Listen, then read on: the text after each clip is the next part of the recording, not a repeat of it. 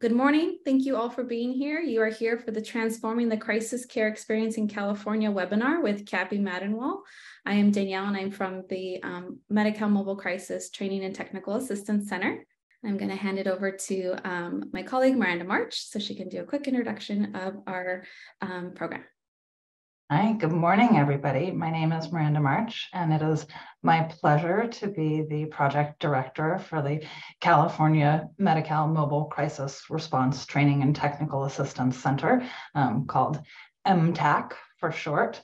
Um, CARS is a California based nonprofit, and we are thrilled to be working with DHCS to provide these services through the MTAC TA Center.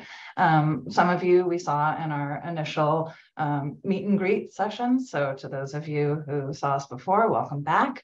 Um, to those of you who are new to the project, um, we're very excited to um, have this opportunity to meet you. We've got a great presentation lined up for you today with some really um, innovative, expert, exciting thinkers who know a lot about mobile crisis and how to um, how to create um, and sustain uh, mobile crisis services that are equitable and responsive and effective. So I'm really grateful to all of our speakers and all of our panelists. Again, I'm Miranda March. My uh, colleague Danielle Ruggie will be um, doing the facilitation of the panel. She is um, a, a, former uh, mobile crisis responder team lead herself, so she knows a lot of stuff that's going to be, I hope, really useful. And today's presentation is going to be delivered by Kappy Madenwald, who is working with DHCS to um, help them roll out services under this new benefit. Um, we've had the opportunity to work with Kappy quite a bit. She is um, an absolute expert, maybe the expert in the state about uh, all things mobile crisis response related. Um, she's worked with a number of different states um, supporting their rollouts of mobile crisis response services. And we are so, so happy to have her with us today. And with that, I will turn it back to, um, to Kappy. Welcome and thank you. Thank you for thank that you. introduction. Uh, I appreciate it.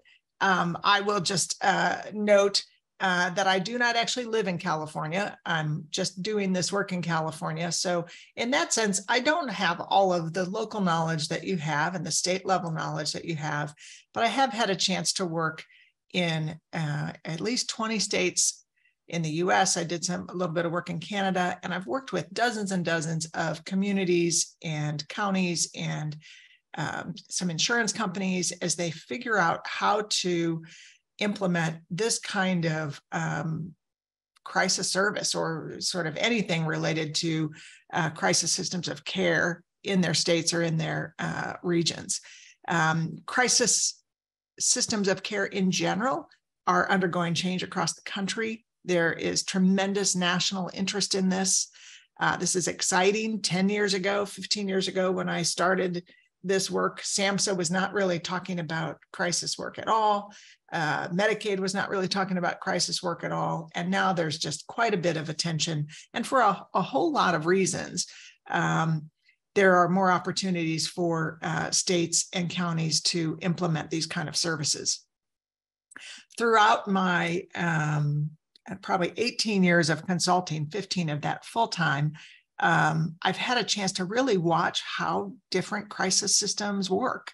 And with that, have have been able to kind of get a sense of, you know, what are the competencies and attributes that are present in the most effective systems.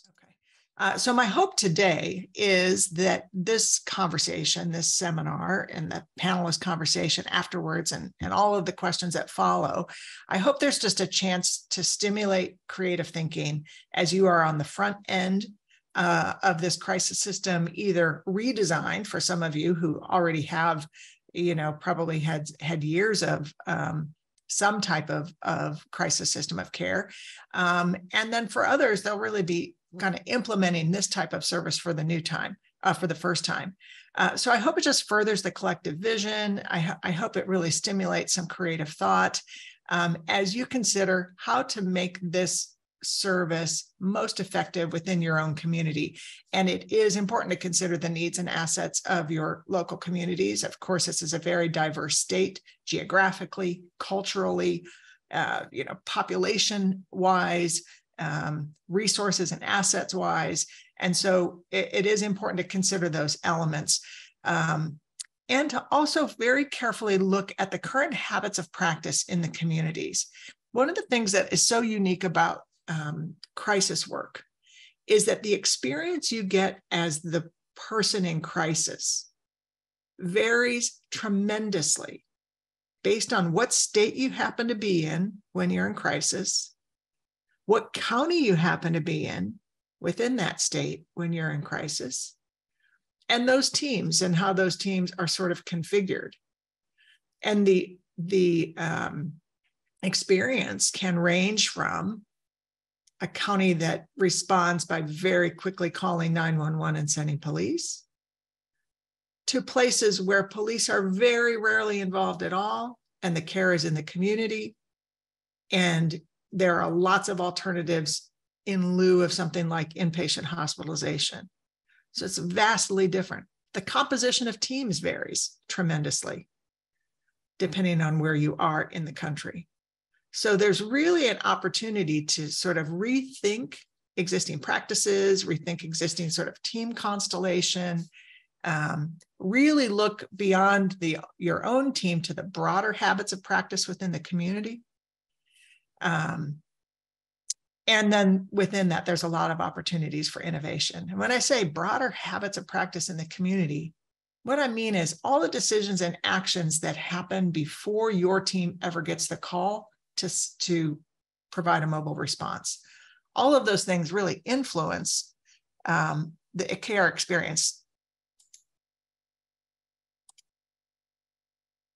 Some of what I talk about today might feel provocative um, it may even unearth some deeply held beliefs. And by deeply held belief, I mean those things that are, you know, often sort of subconsciously held um, that influence the way we practice. Um, there's they're they're so deeply held they may feel like the only explanation. Uh, they may be something we deeply believe is true. Uh, and so some of those deeply held beliefs might come up today and when that happens, candor is useful in sorting it out. Um, candor with yourself, candor with your colleagues. You throw a comment into chat if something strikes you in that area. Um, sometimes the deeply held beliefs end up being related to sort of habits, stories, uh, things that end up inhibiting, inhibiting our ability to be as effective as we want to be in this kind of work because things are provocative, because this can unearth some unearth some deeply held beliefs. Um, it's important that in any kind of training or coaching or learning collaborative that there be a sense of psychological safety in the work in the in that meeting space. Psychological safety is a key ingredient in innovation. And It's really essential for innovation to sort of flourish it makes it comfortable for us to explore areas where we are not doing as well when care experience is not measuring up to our to our vision. It allows us to take informed risks to propose new approaches to consider radical innovations that disrupt the status quo but then lead to uh, greater success. This is of course parallel process to our work with individuals and families in crisis so it's a really important element uh, to keep in mind here. We want psychological safety as we redesign the system. We want teams to feel psychologically safe when they go do this work in the field. And we want individuals to feel that are in crisis to feel psychologically safe as we work with them. And why is this so important? And, you know, chance to wake up and get your chat fingers kind of moving here. What is it that happens to us when we feel psychologically unsafe. And let's just kind of, for, for purposes of, of uh, sort of doing a little uh, exercise about this, imagine working in a workplace where you felt psychologically unsafe. What happens in that workplace? What changes for you when you feel psychologically unsafe in a workplace.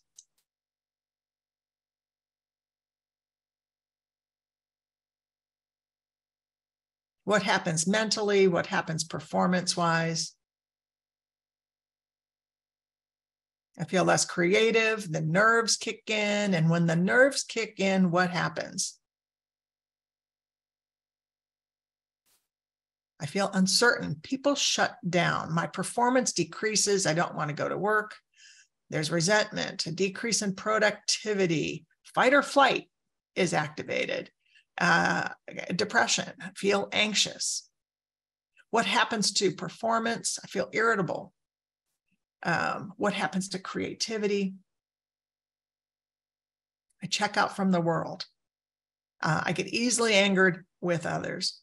And when we're in that psychologically unsafe space, what part of our brain has gotten triggered and activated?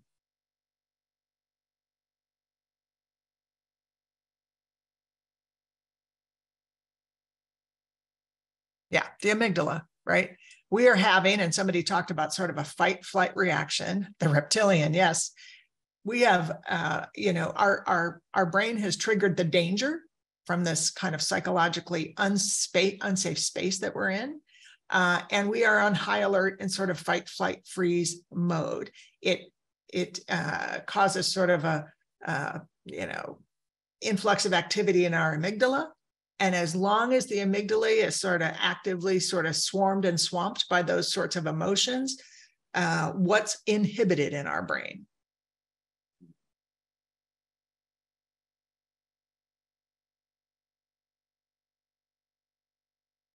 Yeah, logic. Our executive function, right, gets inhibited. The creativity is, uh, you know, is sort of inaccessible uh, when our brains are swamped in that way. So if it makes sense for us in a workplace that we, in a psychologically unsafe, that that hinders our uh, um, our function, our ability to be creative and to problem solve and to, to innovate, uh, then it makes sense that individuals who are in crisis who also have our same human brains experience the same thing. So we want to make sure that we are uh, paying attention uh, to the to the sense of psychological safety that we are helping to create for the person in crisis. It becomes a very essential um, part of this work.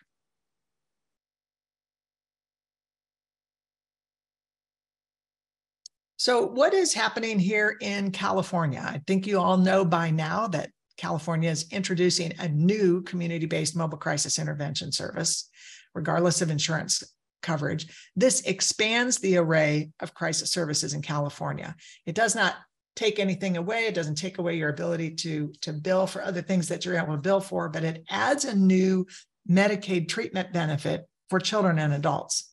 Um, and that's very exciting news. Um, and this new service is an alternative and intended as a first response in lieu of more restrictive first response options, such as calling law enforcement or even sending a co response team. Or, and by co response, there, I mean law enforcement and clinician. Uh, and it's less restrictive than sending somebody to the emergency department.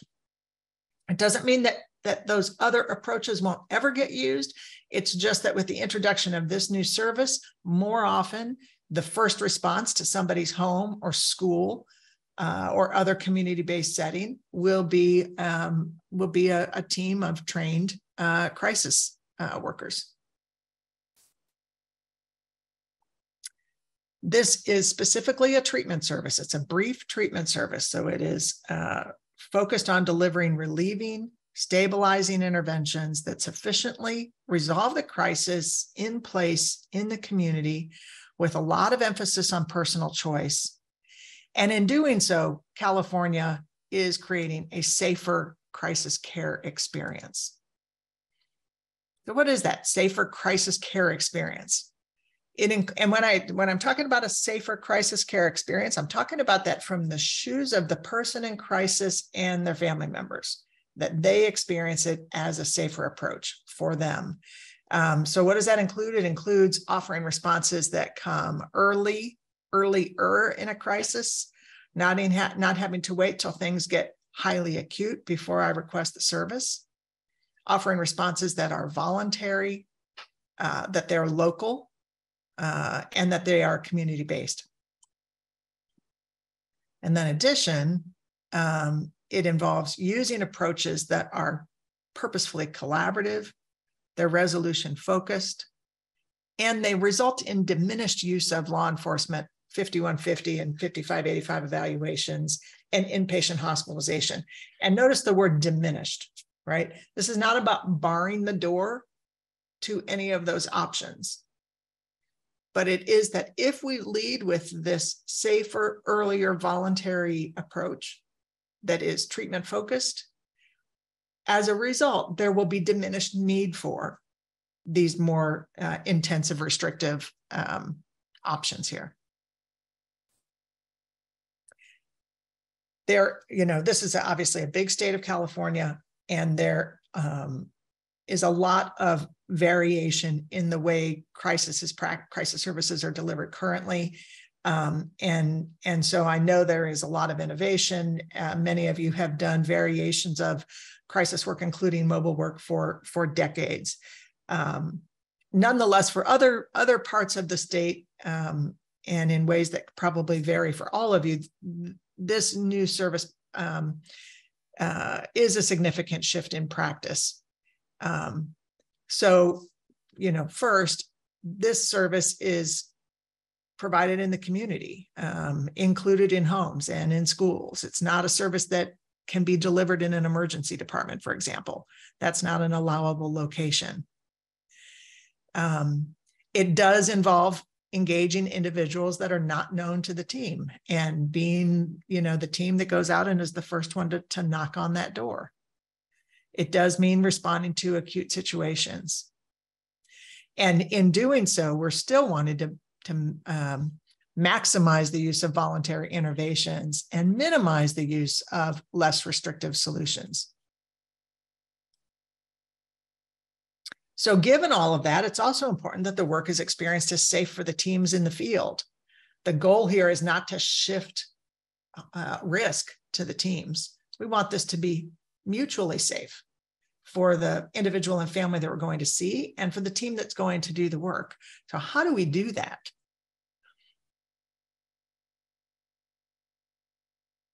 Uh, some of the ways that that teams have have Im- improve this sense of, of safer crisis care for teams um, is through the use of technology and logistical efficiencies uh, that make it easier to communicate back with the sort of the telephone team, uh, make it easy to dial for assistance, um, give good uh, information on um, on location and how to, to drive somewhere. When when I was managing mobile crisis teams, um, you know, some of my biggest concerns were you know, people getting to the scene, knowing how to get there, knowing what door to knock on, those sorts of elements. Um, and the logistical efficiencies that that include things like, um, you know, the ability to electronically transfer information and safety plans to the team, so they've got some history and they've got some knowledge before they're, um, you know, knocking on a door, for example.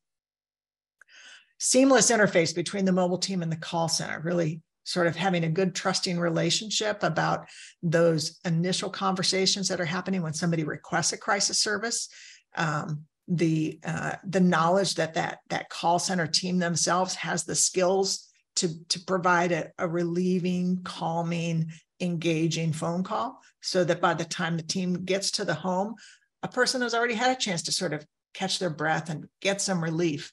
Um, so that's always useful. And then that ability to, to call back and forth with a team with a with a center uh, with the, the, phone team for example uh, to see if there are extra resources needed or those kinds of things. Continuous consideration of safety for everybody including psychological safety is, is quite important. As teams we want to be sort of continuously aware of how people are experiencing the work. We give people permission to end a service when they want to end it. Uh, we give people permission to take a break all of those things matter. Diversifying the team is another way to in, improve the, the uh, care experience and make it safer for everybody. And there are some, um, I guess I'm going to get to that in a second. So before I get to that, um, How else do teams experience the sense of safer uh, care? Uh, it includes through the use of approaches that promote rapid establishment of trust, that calm crises and maximize choice. Some of you have no doubt been involved in restraint reduction initiatives uh, on inpatient units or residential treatment centers. And, and, you know, if you think about the elements that make those restraint reduction initiatives work, it's not simply by only admitting people that are not likely to need a restraint. It's not by um, putting staff in danger uh, as as people are doing dangerous things on the unit. It is fundamentally by changing the approaches that the that the team takes on the on the unit. And so there's a kind of a an analogy here to how we make things safer in the community as well. It's using those same kind of approaches. Um, so that we are just really going in and a person feels safe with us as soon as possible. Another strategy is to engage other systems and stakeholders so that the upstream of the crisis and the downstream of the crisis practices shift. And what I mean by that is that, you know, you get your phone call that somebody wants mobile crisis work, but before you get that call, other systems and players have done things and they can do things that help or they can do things that make it worse. So, for example, if the school says to the child, if you don't behave yourself, I'm calling that mobile crisis team and they are going to take you to the hospital, that's probably going to escalate the situation, right? If that school administrator, though, says, hey, you know what? We know a team of people and they've worked with other kids who have felt the same way. And we'd like to have them come out to have a conversation with you about how you're feeling. That's a very different kind of an experience. So we want all of the upstream folks to do a good job taking approaches that are initially calming um, and then letting people know what to expect when uh, when the mobile crisis team comes. The other aspect of that, the upstream part, is working with colleagues to request a different kind of service.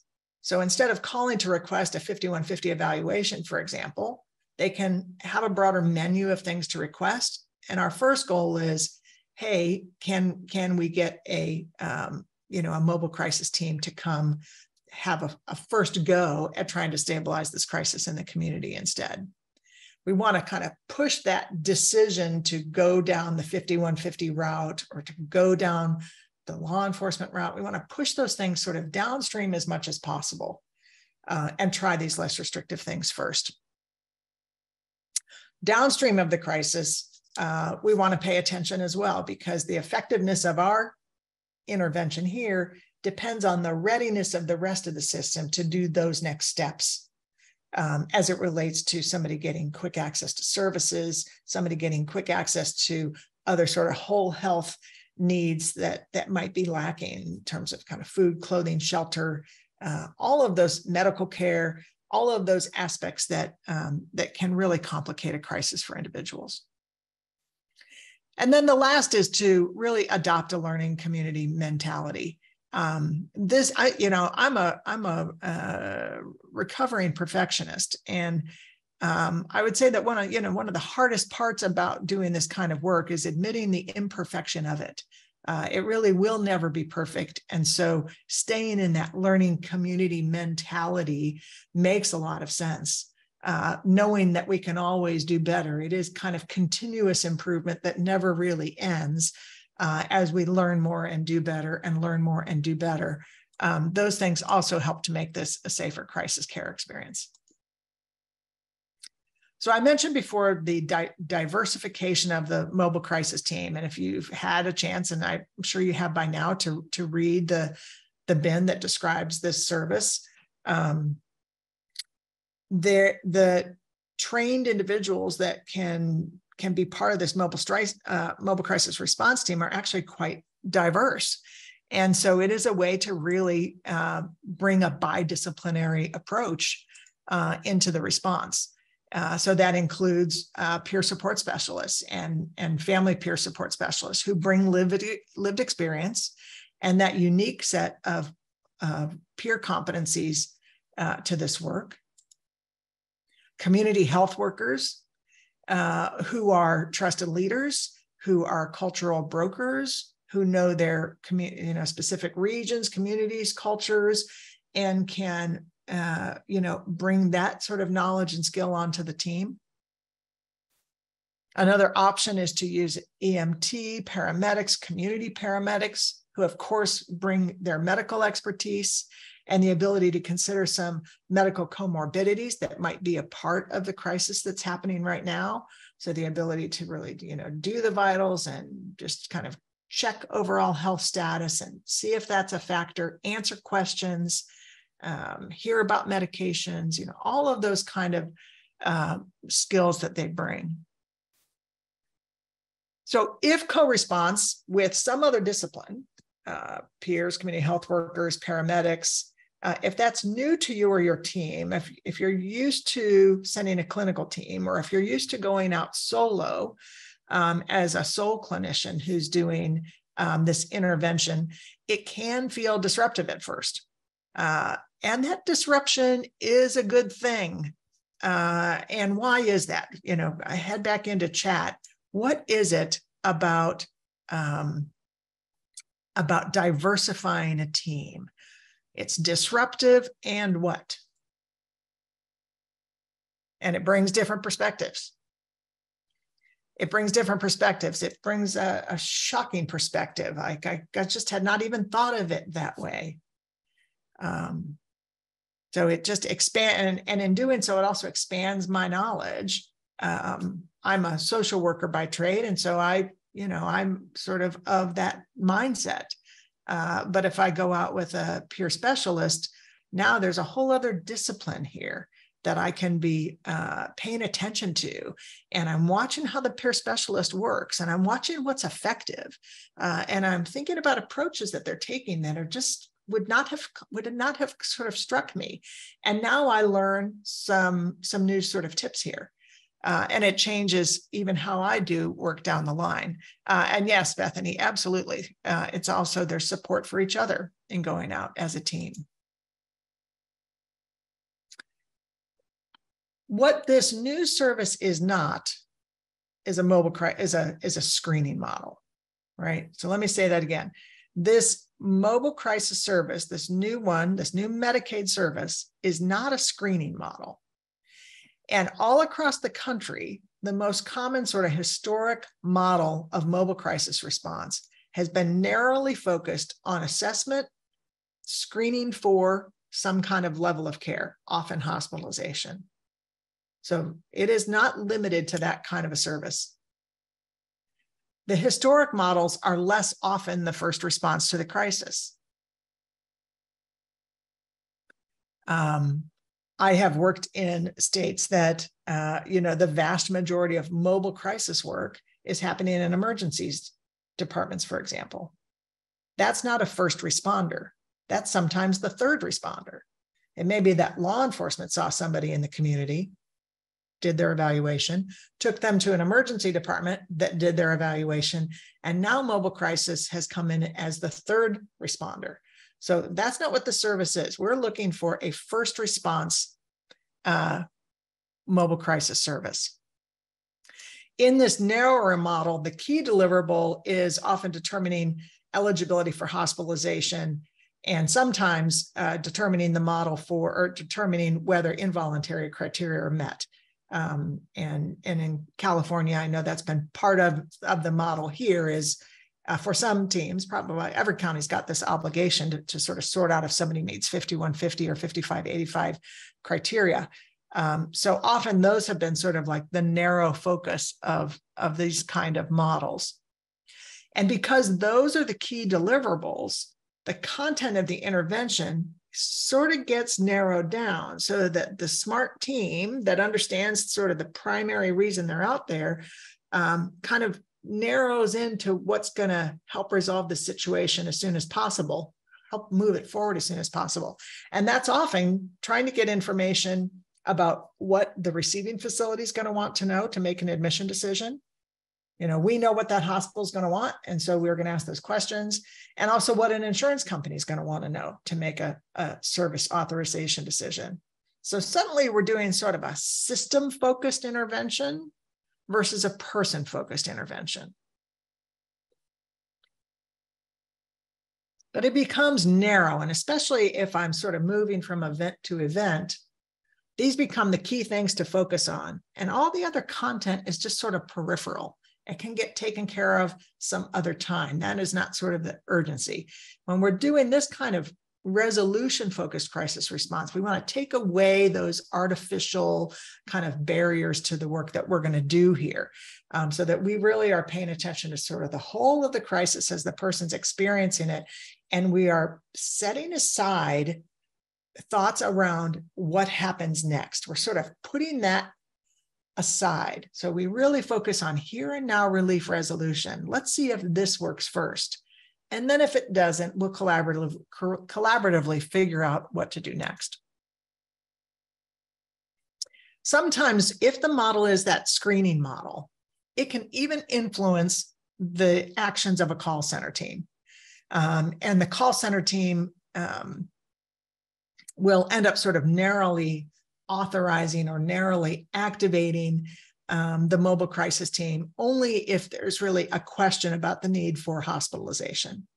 I'm, I'm doing some work in another state right now, and I just read through some 30 ish plans of, uh, you know, of various crisis teams. And the, the language I kept seeing was if they're at imminent risk of harm, then we'll consider sending the mobile crisis team only if we don't need to send the police instead, right? But it wasn't talking more broadly about, um, you know, people that are in distress, people that are in duress, and I can be in distress and duress and not be actively homicidal or suicidal, but can still be Im- impairing my functioning quite a bit. Um, so we want to make sure that these kind of habits that can happen of being sort of narrowly focused on level of care, 5150 eval, don't then translate back to the call center that ends up limiting who gets access to this service. And I know Danielle just uh, put the link into the BHIN. And so you can see in there, uh, you know, when you have a chance, sort of a broader definition of who's eligible for this kind of service if in your county, um, most of the work has been around 5150 type evaluations versus doing this kind of treatment focused brief crisis stabilization service it will be important to really kind of sit and think that through because the, the, the services have some dichotomous roles. And of course, the teams that go out to do 5150 evaluations do, I'm sure, uh, you know, pay attention to these some some of these things and try to sort of calm and stabilize as much as they can. But that's not really what that service was ever about. That wasn't really what that was uh, getting purchased for. So you'll have to really sort out within the county um, these dichotomous attentions, the, uh, the dichotomous roles, and and recognize that for people that have been doing um, sort of the 5150 evaluation for a long time, the muscle memory leans towards that. And you know, this this is all an indicator of our smart human brains at work. If I understand my key role is to determine whether these legal criteria are met and whether the insurance company and the hospital will have all they need, then my brain turns on to that sometimes before I even leave the office right? I've gotten the call, and already in my brain, I'm thinking very likely to meet criteria. Or I might even be thinking, I'm not even sure why they're sending me because it doesn't look like there's any chance they'll meet criteria. So already in our head, our smart, our smart brain is trying to move us forward efficiently. If that's what's happening, it's hard to sort of undo all of that and say, I want to push that stuff way downstream my goal is to go out and really engage the person and see if we can sort of stabilize here and now. One of the things I'll often say to teams that find themselves stuck in that thinking is um, imagine for a minute that there were no psychiatric hospitals, none. And you're it. How can you make a difference, right? What would we do in the absence of inpatient psychiatric hospitals or any kind of bed-based support after our intervention. And that's the skill that we want to be really building out. How can we be in, of service here and now um, to stay, help to stabilize this crisis? So consider how to delineate those two functions, both in team practice. Sometimes that means two, two different teams. Um, one that is sort of like the first line team that goes out and, and maybe you've got a sort of a different 5150 team. Um, but also how to delineate this for other system players. There are, you know, if if you happen to be in a county where the mobile response is really limited currently to that 5150 eval, then there are no more likely most likely there are some people that call to actually ask for that. I'm calling for you to come do a 5150 right? And so we want other system players to understand that there's a broader menu of options available now with this new service and to be able to talk about those options with us and to request that kind of service in lieu of jumping right to the 5150. We also want to delineate this for crisis service users. Sometimes, and again, I'll just encourage you to have you know some local conversation here with service users. Um, sometimes uh, the term mobile crisis feels equivalent to 5150 eval for the individual in crisis or their family members. Um, and so there's a connotation that way. And, and if that's the case, that can perhaps uh, cause some hesitancy to use the crisis service. So that's going to be another thing to unpack locally. And that might be with your local mental health America group or NAMI or other um, settings so that you can really introduce this as an alternate service intended to be community stabilizing, intended to be voluntary, um, so that this really becomes uh, clear that there is a there's really a new option in town.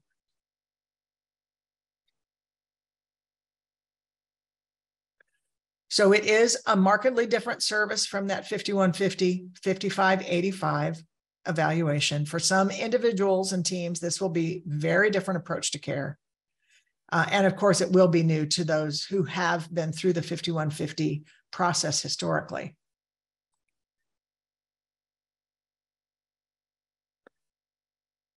So it's quite a complex change.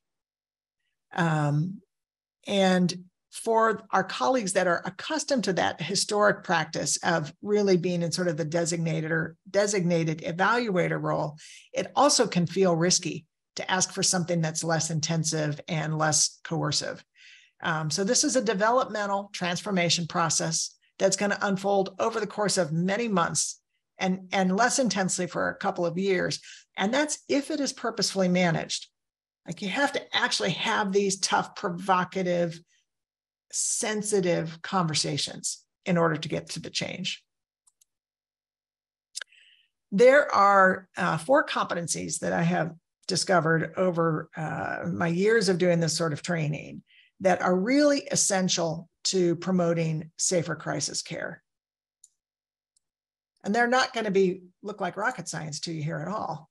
Uh, the first is delivering interventions that are person and family centered, the second is delivering crisis interventions that are strength based.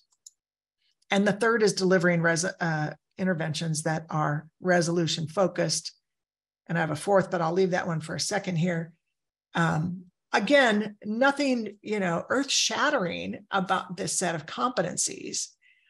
Um, although they are all harder to do in practice than they look in writing. And these are words that we sort of overuse. Um, uh, we say them all, not necessarily understanding them all deeply. And, and I think these are uh, all three competencies that require sort of a lifelong learning approach. These competencies are essential to really all of the best EBPs, right? Solution focused therapies and motivational interviewing and cognitive behavioral therapies and DBT all require that individuals that are providing this work have these, um, these skills what seems to happen in crisis situations is that the skills don't always seem applicable and that it feels like in a crisis situation we should revert and take over for the individual in crisis and maybe even for the family member versus practicing these interventions in the course of even an acute crisis. And we can really use these well into a crisis situation, even in acute situations.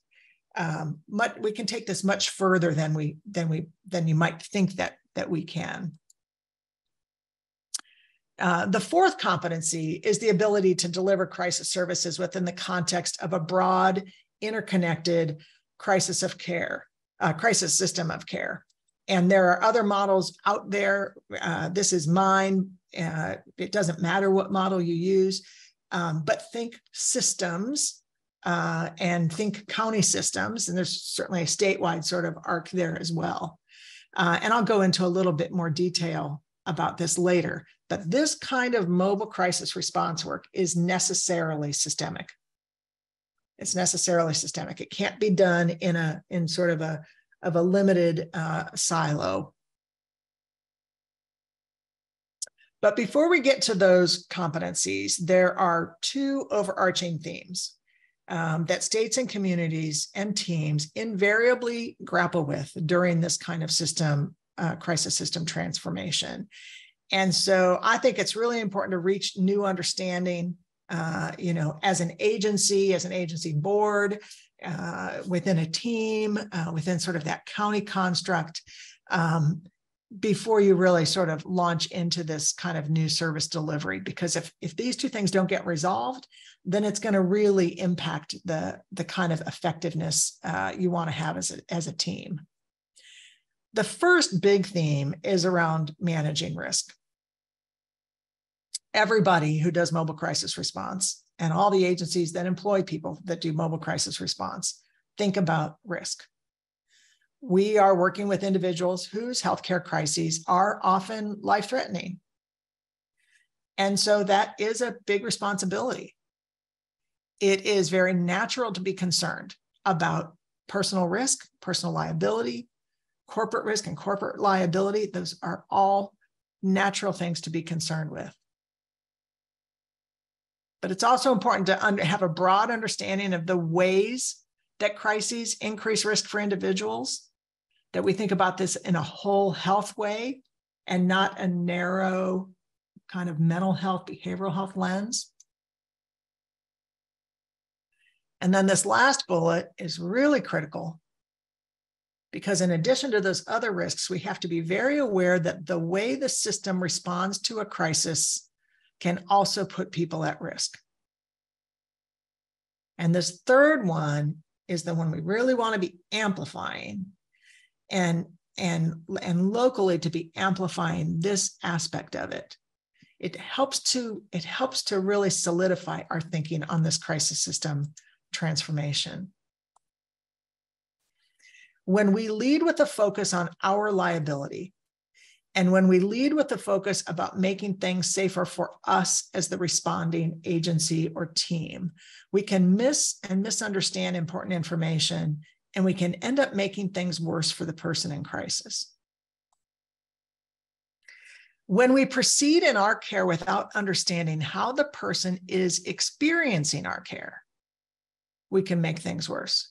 We can misunderstand the things we're seeing in front of us when we don't understand that we're the one that's kind of creating the reaction.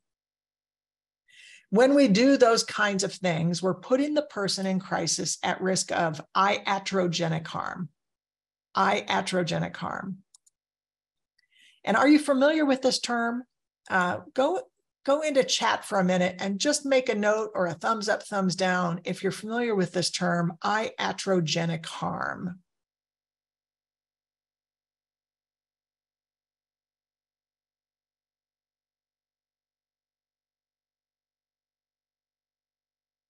I'm seeing a, a mix of some yeses and some nos.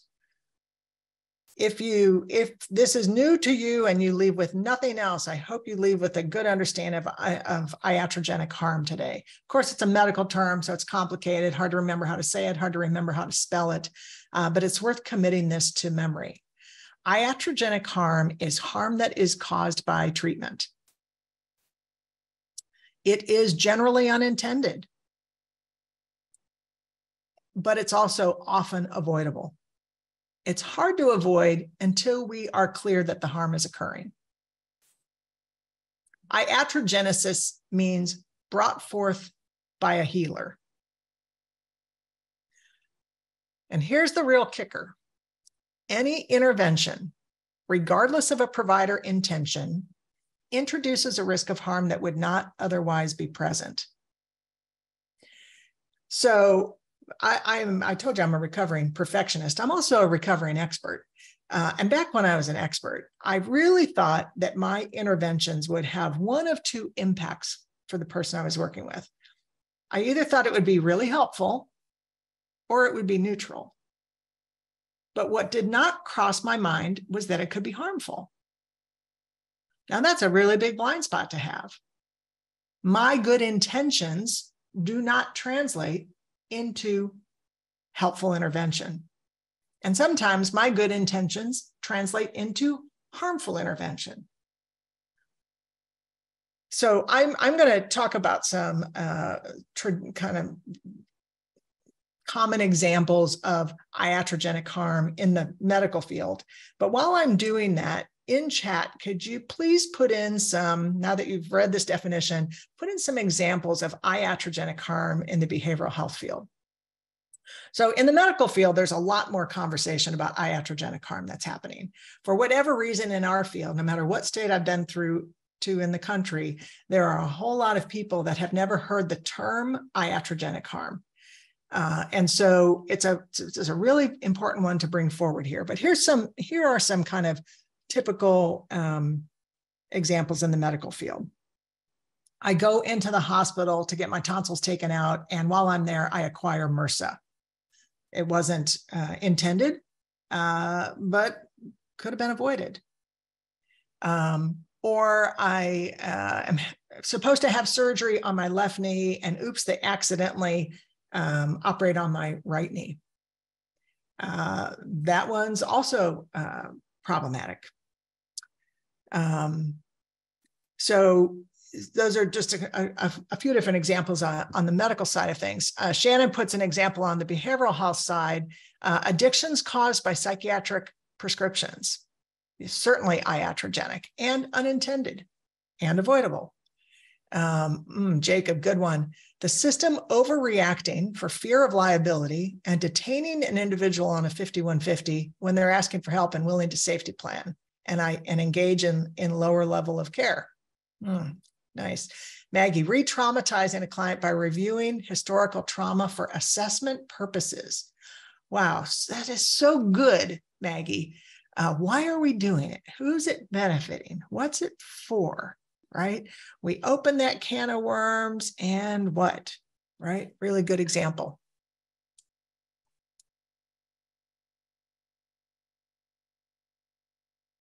We'll keep we'll keep uh, kind of talking about this here for a couple more slides. But here's a little bit more about iatrogenic harm. When there is iatrogenic harm, it implicates us as providers of the service, and it implicates the systems in which we operate. So here's the interesting thing about iatrogenic harm. It's never about the person we're working with.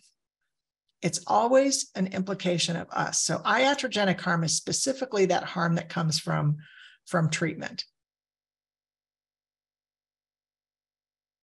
The good news about that is that it gives us power.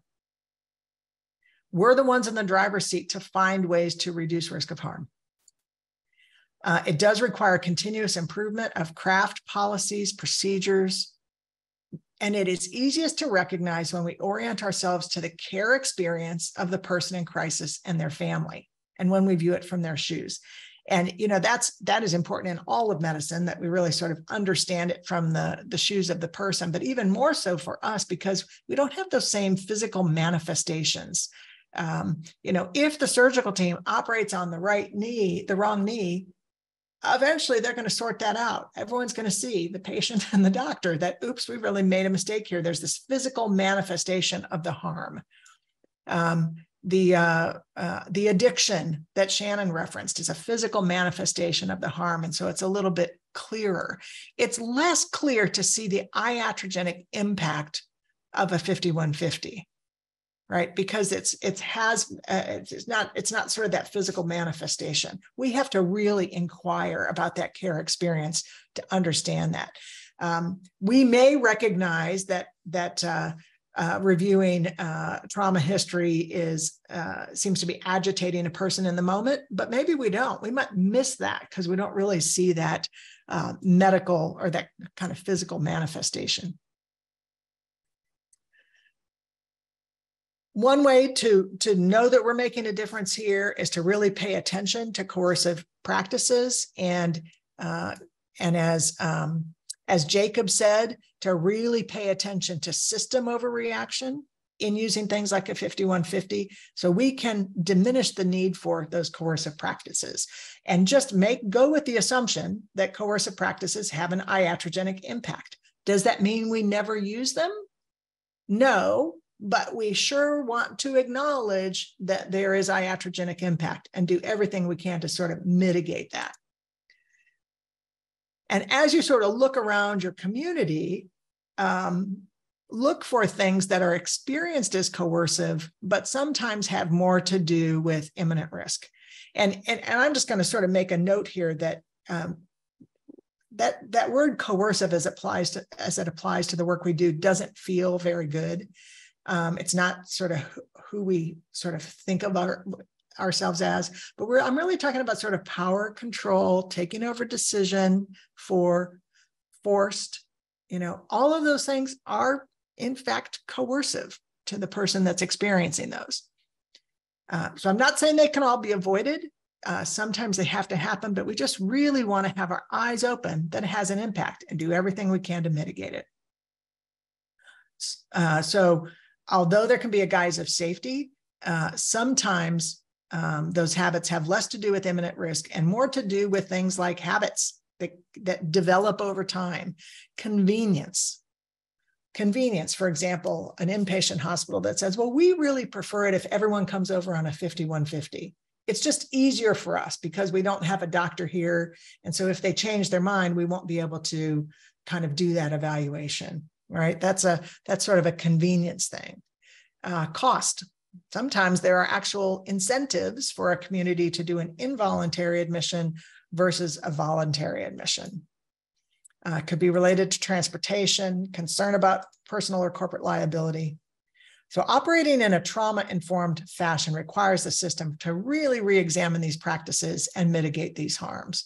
And the hardest one here are the habits. What are we in the habit of doing? Sort of, this is how we do it here and you know as a as a uh, ex uh, clinical director at a crisis agency myself it was very useful as i started traveling the country and looking at other systems. It made it easier to go wow we we had developed some habits here that um, that were iatrogenic. And uh, as i see how other teams are doing it i can see that there there could have been ways to do that better. It's not just us.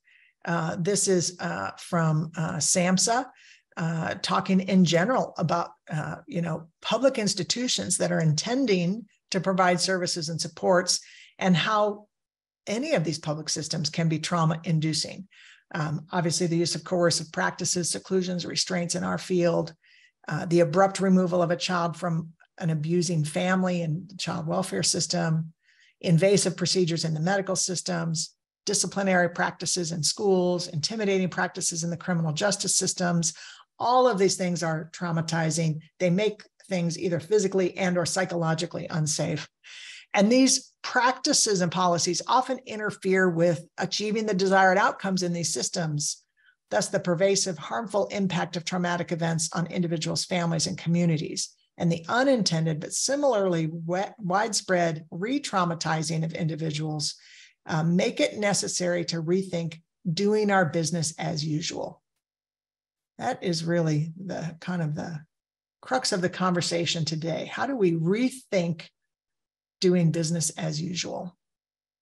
So we can watch and look for um, these kind of coercive practices across the broad crisis services spectrum.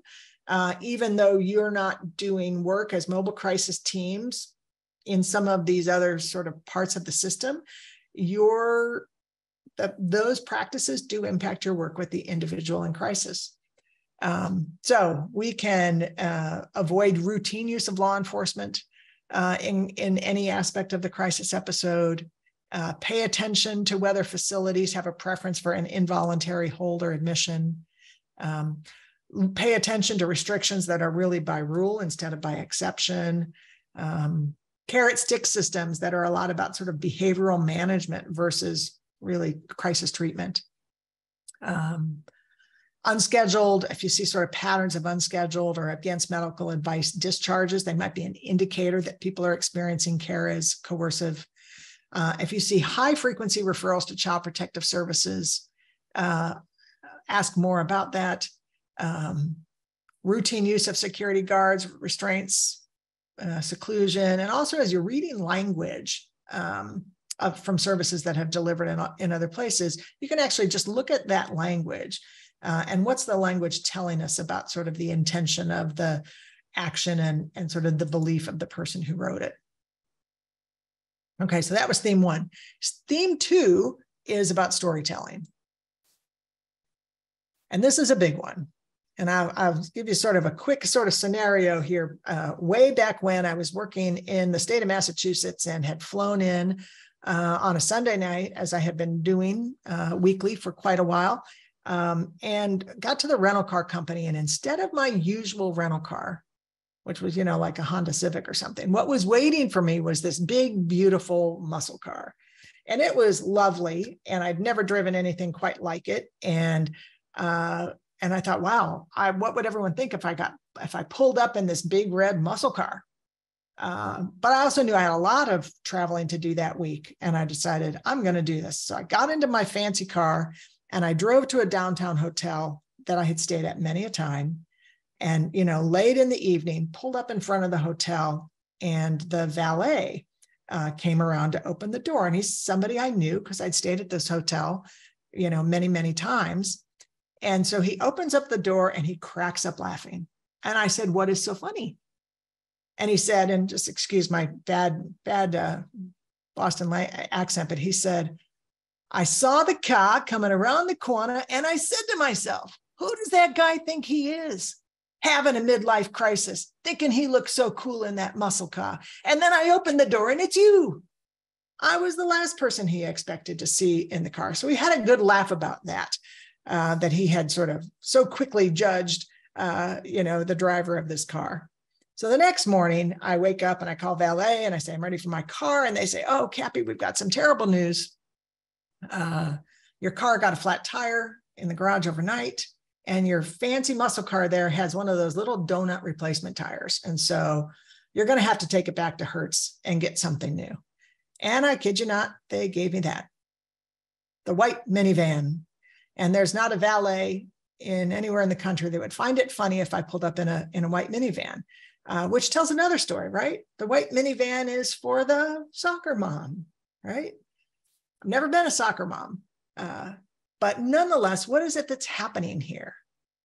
Our smart brains tell stories. We are naturally, as human beings, storytellers. It is part of who we are. It is in our DNA.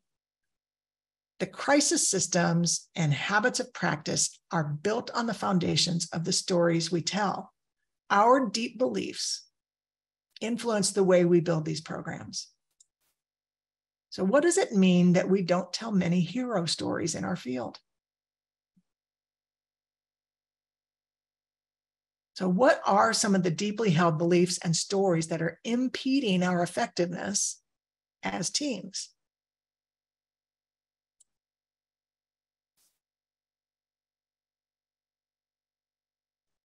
Sorry, my forward isn't working. So, what are some of the historic stories of individuals with behavioral health conditions? What do we tell of the frequent flyer, for example? What kind of historic deficit stories do you hear out there? Stories about the parents of children in crisis, stories about how we think individuals use the system or use treatment.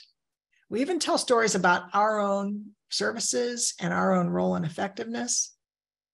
Uh, and all of those stories influence what we do. Hmm. Unconscious bias, yes.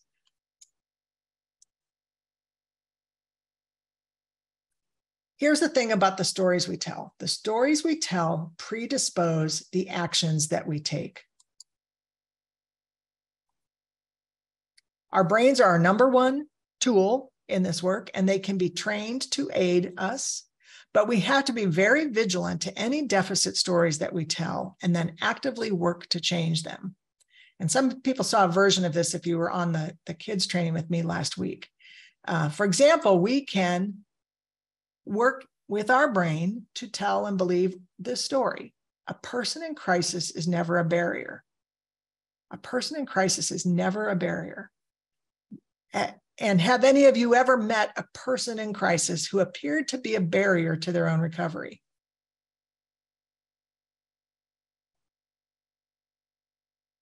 Just put a quick note in chat.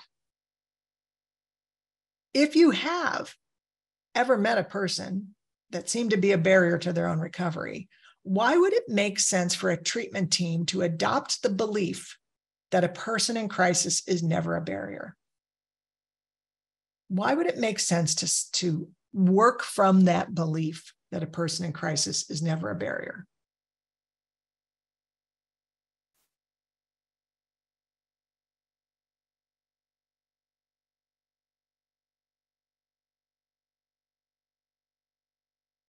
Mm. Because if we think they cannot recover, then we're working from that lens. So if I deeply believe that a person cannot recover from their illness, it will predispose the approaches that I take. A lot of system of issues are systemic in nature. Their symptoms are creating the barriers. Yes, the sy- symptoms are creating the barriers, not the person. Interesting thought. Some of you might have seen this diagram uh, last week as I was talking about uh, responding to kids in crisis and, and engaging their parents. Uh, and once again, we'll look at this as it relates to understanding how the stories that we tell predisposes the actions that we take. So, in this kind of simple diagram of the brain, uh, we're going to focus on these three parts of the brain, and and and just to kind of remind us all how information moves and through our brain and how our brain reacts to it. So, the spinal cord is, you know, this very primitive part of the brain, and this is the place where information enters the brain what we smell, taste, touch, uh, hear, um, all of those things enter through the spinal cord and they come in in very narrative fashion. Um, so the story enters through the brain. Um, and it doesn't even necessarily come in uh, kind of as fact right? Because our sometimes our narrative is influenced by interpretation. So this is where the story enters the brain in narrative fashion sometimes sometimes sensory fashion. And the first thing to um, respond then is our limbic system. And the limbic system is trying to determine is this safe or unsafe? The limbic system is a very protective part of our system. It's where fight, flight, freeze lives. It is, uh, it is uh, sort of our first line of defense. And so the limbic system responds first. And then if it is safe, now our executive function gets engaged. So, what happens when I pull up in front of the valet uh, and he says to me, I saw the car coming down the street, and I said to myself, Who's that guy think he is? Thinking he looks so cool, having a midlife crisis. That was the instant story that entered into his spinal cord. And he had a limbic system reaction to that, feeling derision, dislike, joking about, kind of making fun of right? That was kind of the automatic limbic system reaction he had to the story he told. And he was probably all prepared to kind of act accordingly, maybe laughing under his breath when he opened the door until he saw it was me and his whole narrative that had formed kind of popped away.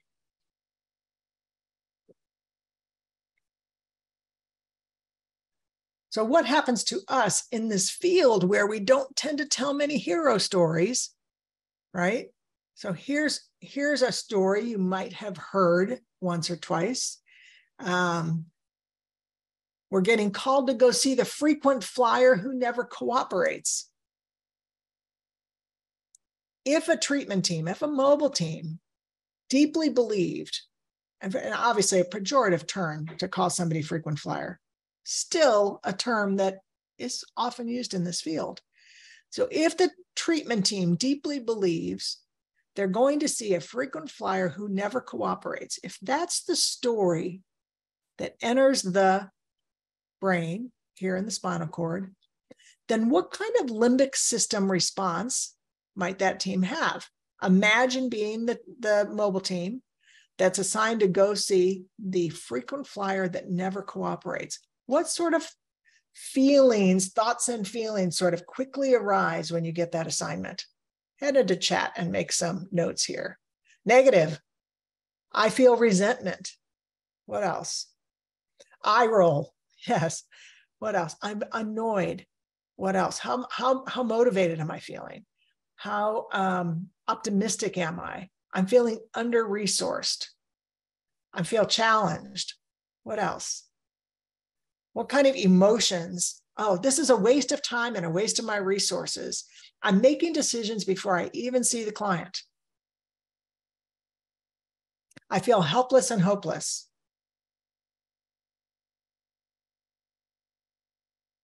What else?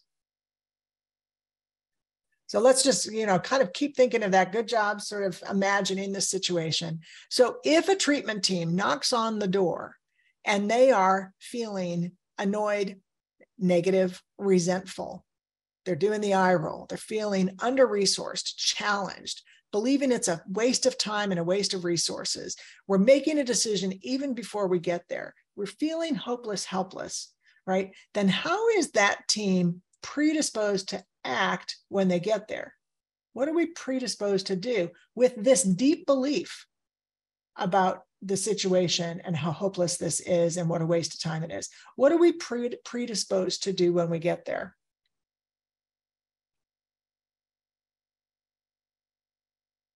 Avoid, mm. judge. Yeah. What else? Rush blame the client. And I'll misinterpret or miss their needs. We might be in fight, flight, freeze mode. We're going to do the same thing we did the last time. Hmm, we might blame the system. Yeah. And it's it's it's very important to give ourselves a break here and understand again, this is our smart break at brain at work. Um, you know, if we believe, and somebody made a comment about this earlier, that a person is unchangeable, unfixable, right? It, it, just feels hopeless to us. And so this is our smart brain saying, you've got an impossible situation here. It's really a waste of time. We should be doing something else instead. And then automatically it's influencing what we do. So now let's take this a little step further and take off your treatment hat for a minute and, st- and set it aside and stand in the shoes of the person that you uh, have just gone out to see from their shoes and, and kind of talking in first person or typing in first person. How do you experience it when the mobile tra- team comes to your home and they are avoiding and they are judging and they're rushing and they're blaming you and they're misinterpreting you and they're missing your needs? And they are clearly in fight, flight, freeze mode. And they're just doing the same thing they did last time. And they're blaming the system. From the person standing in the shoes of the person in crisis, how are you experiencing that? Uh, I feel marginalized. I feel like I'm not being cared about. I'm not being given the services I need to get the help I want. I feel like there's no point in asking for help. I feel like I'm a burden and I feel like they're afraid of me. I feel worthless. I feel judged. I feel like giving up. So, recognizing that these kind of deficit stories are so prevalent in our field, we are awash in them. We can purposefully change the way our brain works, right? I can deeply believe a person is never a barrier to their own recovery, for example. I can purposefully adopt a strength based story and employ that instead and sort of trick my brain by letting a different story enter my spinal cord. And this is a story that sort of formed for me over the years. And before I got to this sort of mantra, um, I did sort of the long math that you have to do sometimes to really rethink uh, sort of the narrative that we have formed about a person. But this is what works for me. I insert insert the story into my spinal cord that I'm about to go see a person who is credible, capable, intuitive, and able to collaborate. Regardless of the story that came in, regardless of what's written on paper, regardless of what the previous record says, I prime my brain to engage a person that's credible, capable, intuitive, and able to collaborate. Now, if the mobile team is going out to a home and they deeply believe they're about to see a person who is credible, capable, intuitive, and able to collaborate, if that's the story that enters the spinal cord, how does that feel when you're standing in the shoes of the team that's going to respond? How are you feeling? What are you thinking about going to see the person that's credible, capable, intuitive, and able to collaborate?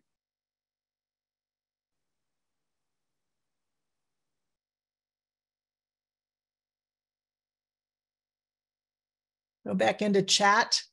What are you what are you feeling when you get assigned to go see a person that's credible, capable, intuitive, and able to collaborate it?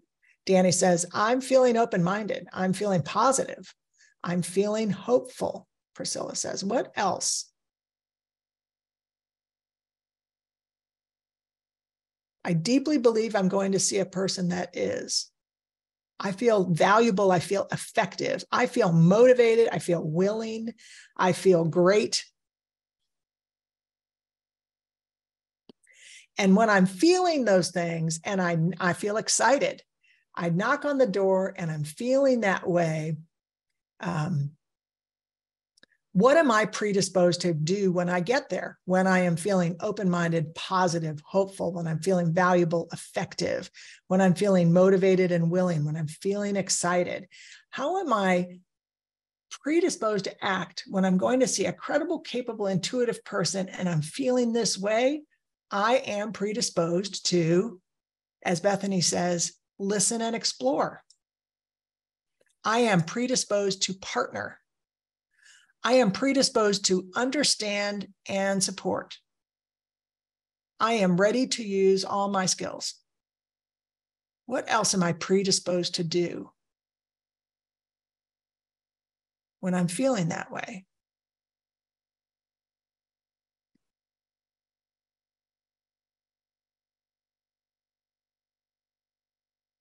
And let's just, uh, again, take our hat off and put it aside and stand in the shoes of the person in crisis. How do you experience it when the team comes to you feeling open minded and positive? When they come in hopeful? When they come in effective? When they come in motivated and willing? When they come in excited? When they come in listening and exploring? When they come in partnering? When they come in supporting and understanding, when they are clearly using all their skills, uh, when they come in receptive. Yeah, so I'm feeling like um, I'm not even sure where the change was. So Jennifer might have been saying, yeah, when the team comes in that way, I feel receptive. Uh, when the team comes in, my anxieties are lower. I feel relief. I feel trusting. And because you feel trusting, relief, anxieties are lower, you're feeling receptive, what becomes possible?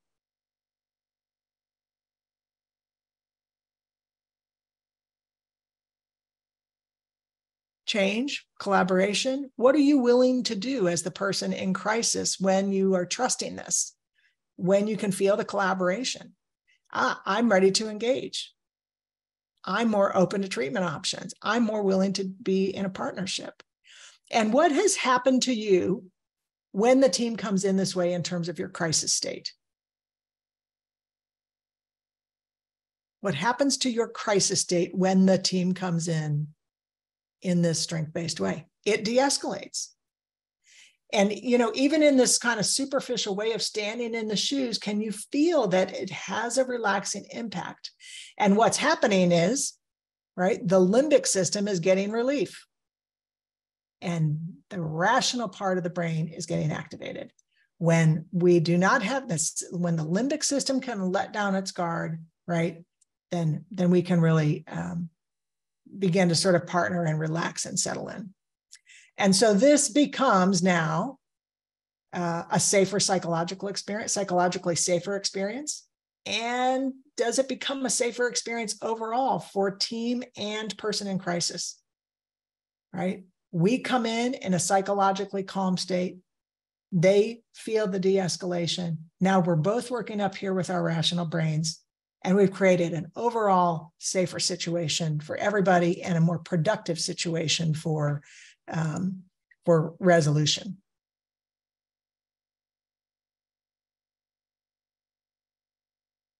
I'm going to take us back to iatrogenic harm for a minute.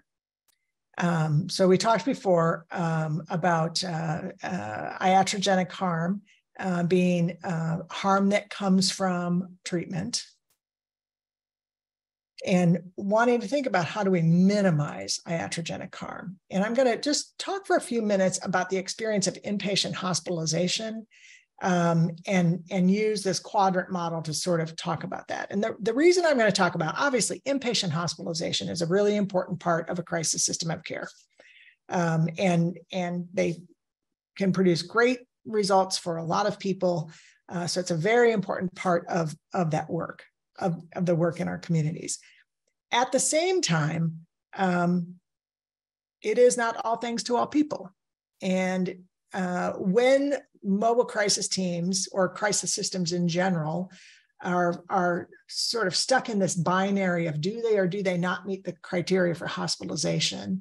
Uh, and when that hospital is sort of the, the place that's sort of held up for consideration every time, it gets a little bit cumbersome. And so I just want to sort of tease this out a little bit. Within a lot of communities, there are deeply held beliefs and a lot of stories about inpatient hospitalization, it, psychiatric specifically. It has been around for a very long time. Um, inpatient psychiatric hospitalization preceded kind of modern day, you know, uh, community mental health services by, you know, some hundred plus years. And with that, comes a lot of deep beliefs that's not necessarily deep beliefs of the mobile crisis team, but it can be sort of the system at large. It could be the person who's referring somebody to you for mobile crisis services. But some of those deep beliefs might include things like it's the best and highest quality service. And so, if it's the best and highest quality service and my loved one doesn't get it, it can feel like I got lesser care for my loved one. Um, it can be viewed as the safer place. Uh, there's a sense that inpatient treatment is something you do to a person, and somebody might say he needs inpatient treatment, but of course, we need to be more specific than that. Exactly what kind of treatment do they need? And does this hospital actually deliver that kind of treatment that they need? There can be the sense that fabulous tests are going to uncover the answer and excellent medications are going to sort of treat the symptoms there can be a belief that sending somebody to the emergency department and them subsequently getting admitted is the best risk management harm reduction strategy. And that because somebody's a dis- discharged from inpatient treatment, it should be an indicator that they're stable now and can return to business as usual, and that there's always good linkage at the end of those stays. So you may have heard one or more of these kind of themes and stories. They can lead to sort of this belief set about hospitalization as 100% good and effective um, and and can sort of just drive us towards that um, solution when people meet the criteria uh, without sort of slowing down and taking a more um, person-centered and balanced uh, look um, at this. So we're going to do a little bit of practice-based evidence here. There's, there's really not much evidence-based practice. There's not much evidence-based science evidence-based for the efficacy of inpatient hospitalization, right? There's, there's actually more that's sort of branching up in the literature in the last few years, but in general, um, it's not a service that comes with like this, uh, you know, X percent effectiveness rate sort of label. Uh, so in the absence of that, I want to do a little bit of practice-based evidence. And I'm going to do that um, using this quadrant model, which is a way of looking at two intersecting points. And so I've got two questions for you. And, and the first is based on your experience in this field, uh, and people that you know that have been in and out of hospitalization. Based on all that, all of that experience, what percent of time would you say individuals have experienced a good health benefit from hospitalization? So in this quadrant model, I'm looking at this vertical arrow set here. So as a percentage point, and don't overthink this, um, what percent of time would you say people experience a good health benefit from hospitalization? So put that number in chat. Is it? Okay. All right, numbers are going in. Let's get a few more in there so I can get a nice average. I'm calculating them in my brain as we go numbers are coming in really consistently, that's going to make this easy to do. Okay, so it's looking like on average, and we've got some variability as high as 30%, as low as 15%. I'm going to just put that at about 25% based on the average. So this group, kind of based on their evidence-based practice, says about 25% of the time people are getting a, a good health benefit which means that 75% of the time, they're not, right?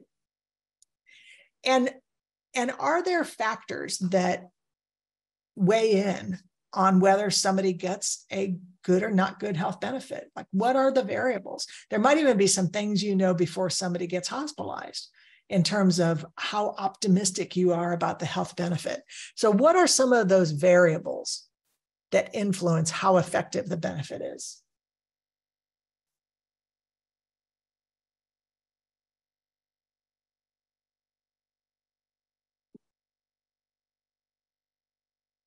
Ah, the hospital staff, the, the level of genuine care and attention, uh, the census, who else is in there? You know, this is a this this one kind of type of medical care that happens in a congregate setting. So the rest of the uh, the team, it matters as well. Uh, the empathy uh, from hospital staff, uh, the amount of coordination between psychiatrist and client, um, uh, lack of availability of beds. How about for the person themselves? Think diagnostically. Uh, you know, are there times that um, you know we're more optimistic or not optimistic? Um, what other things kind of factor in to the health benefit and the acuity of clients. How about for the person themselves? What's things, mm, their, la- level of engagement or motivation? Mm-hmm. How much does past experience play in? Does, does it matter if the admission was voluntary or involuntary? Mm. Oh, so Maggie's saying trauma. So I'm, I'm going to make a guess, Maggie, I might be wrong uh, that if there's a trauma history, trauma diagnosis, that that might impact the effectiveness of the hospitalization. Let's see if that might be part of it. Yep, she says yes, yes. So, uh, so somebody who has PTSD, uh, perhaps somebody that has autism uh, spectrum disorder, they may have lesser benefit. We want to make sure that there's specialization on the unit for the actual diagnosis that I have uh, previous experience on a unit. Uh, and what if it's a voluntary, an involuntary admission? Do you think that has an impact on likelihood of a good health outcome?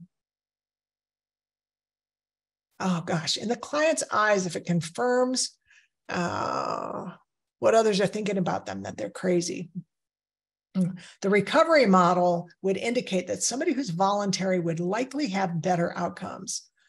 Uh, yeah, so it has an impact because there's less trust of the care provider. If we think about that previous brain diagram, right? If somebody goes into the hospital with their amygdala swamped and swarmed about this unit and if it's safe and that they didn't want to be there voluntarily and all of those kinds of things, it makes it harder for them to settle in, right?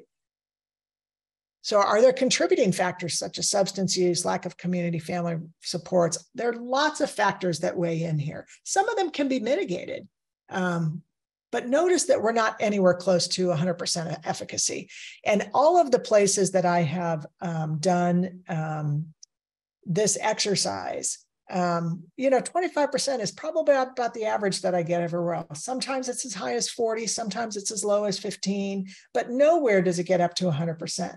So we collectively, our, our practice-based evidence is that it's not effective 100% of the time. So let me now ask you about this other um, factor here. This is the horizontal bar, and this is the iatrogenic risk. So, based on all the individuals that you know that have had psychiatric hospitalization, what percent of time do you think people experience iatrogenic harm from hospitalization?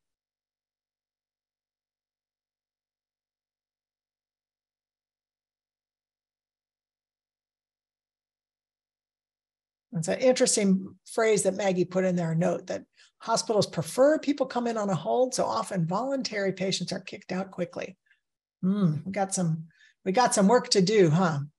Okay, so uh, what percent of time do people experience iatrogenic risk? I see a 75, a 60. Mm, Bethany says, I think it's higher than we'd like to admit.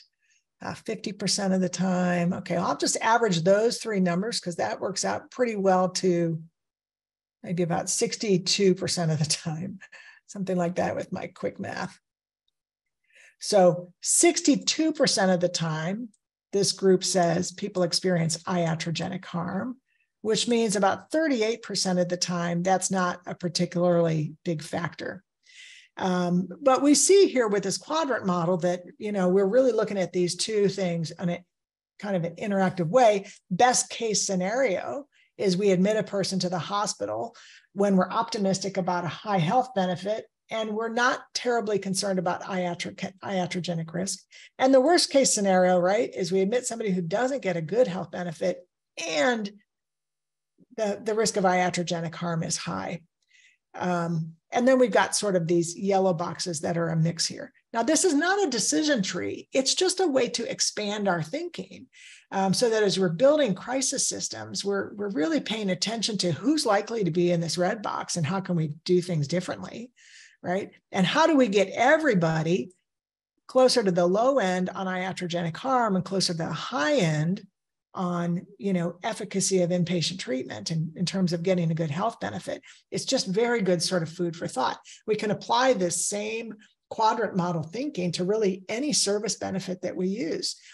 Critical to us recognize that any treatment introduces the risk of harm that would not otherwise be present so we can't refer anyone to any service and call it a 100% risk free service. All of those services introduce the risk of harm. I can do outpatient treatment that makes things worse for me instead of better, right? We in our work can take approaches that are iatrogenic or that are relieving and calming.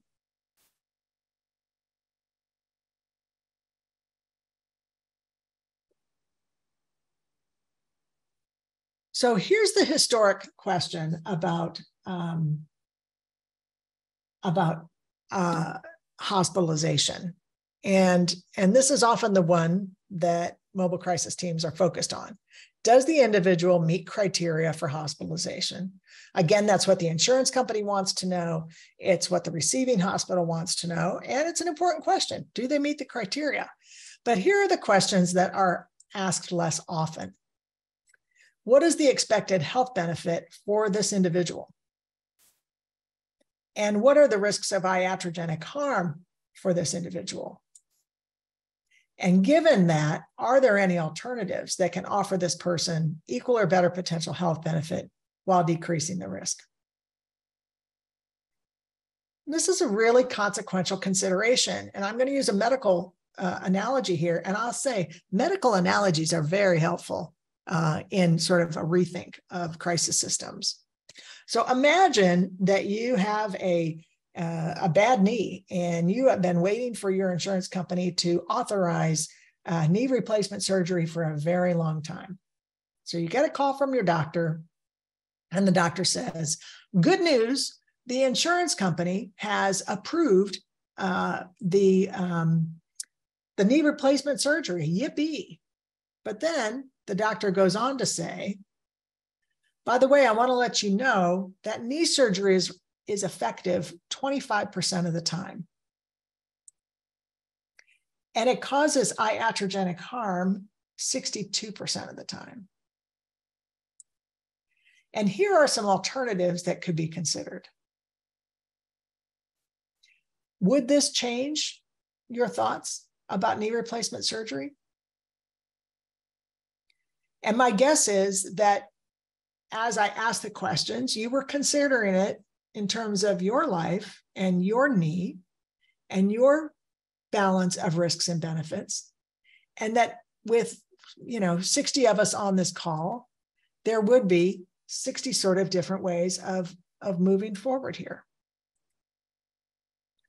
So your thoughts about how to proceed might really vary.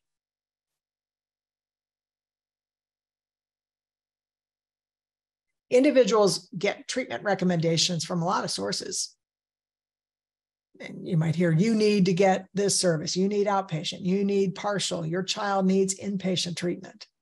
And too often as a field, we minimize we emphasize the treatment benefit, but we skip or minimize the discussion of the iatrogenic risk. So we can broaden those conversations uh, with families, individuals in crisis and their families in a shared decision making fashion um, to really explore more deeply. Sometimes the phone call comes in and says, I need to be in the hospital immediately, or my child needs to be hospitalized immediately.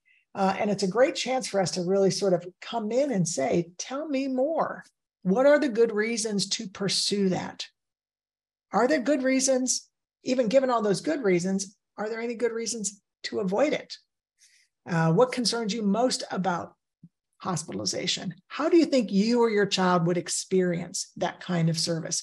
We're broadening the conversation to raise awareness of the potential for benefit and the potential for harm, and doing what we can to sort of mitigate and consider alternatives. How optimistic are you about the potential health benefit? How concerned are you about any harms? What could lessen the risk of harms? What can improve the health outcome? Are there alternatives to consider? What would help you in making this decision? Interesting um, opportunity in mobile crisis work to do watchful waiting, to be able to not decide today but to give it a couple of hours or a day or two to really figure out what to pursue in terms of treatment. Okay.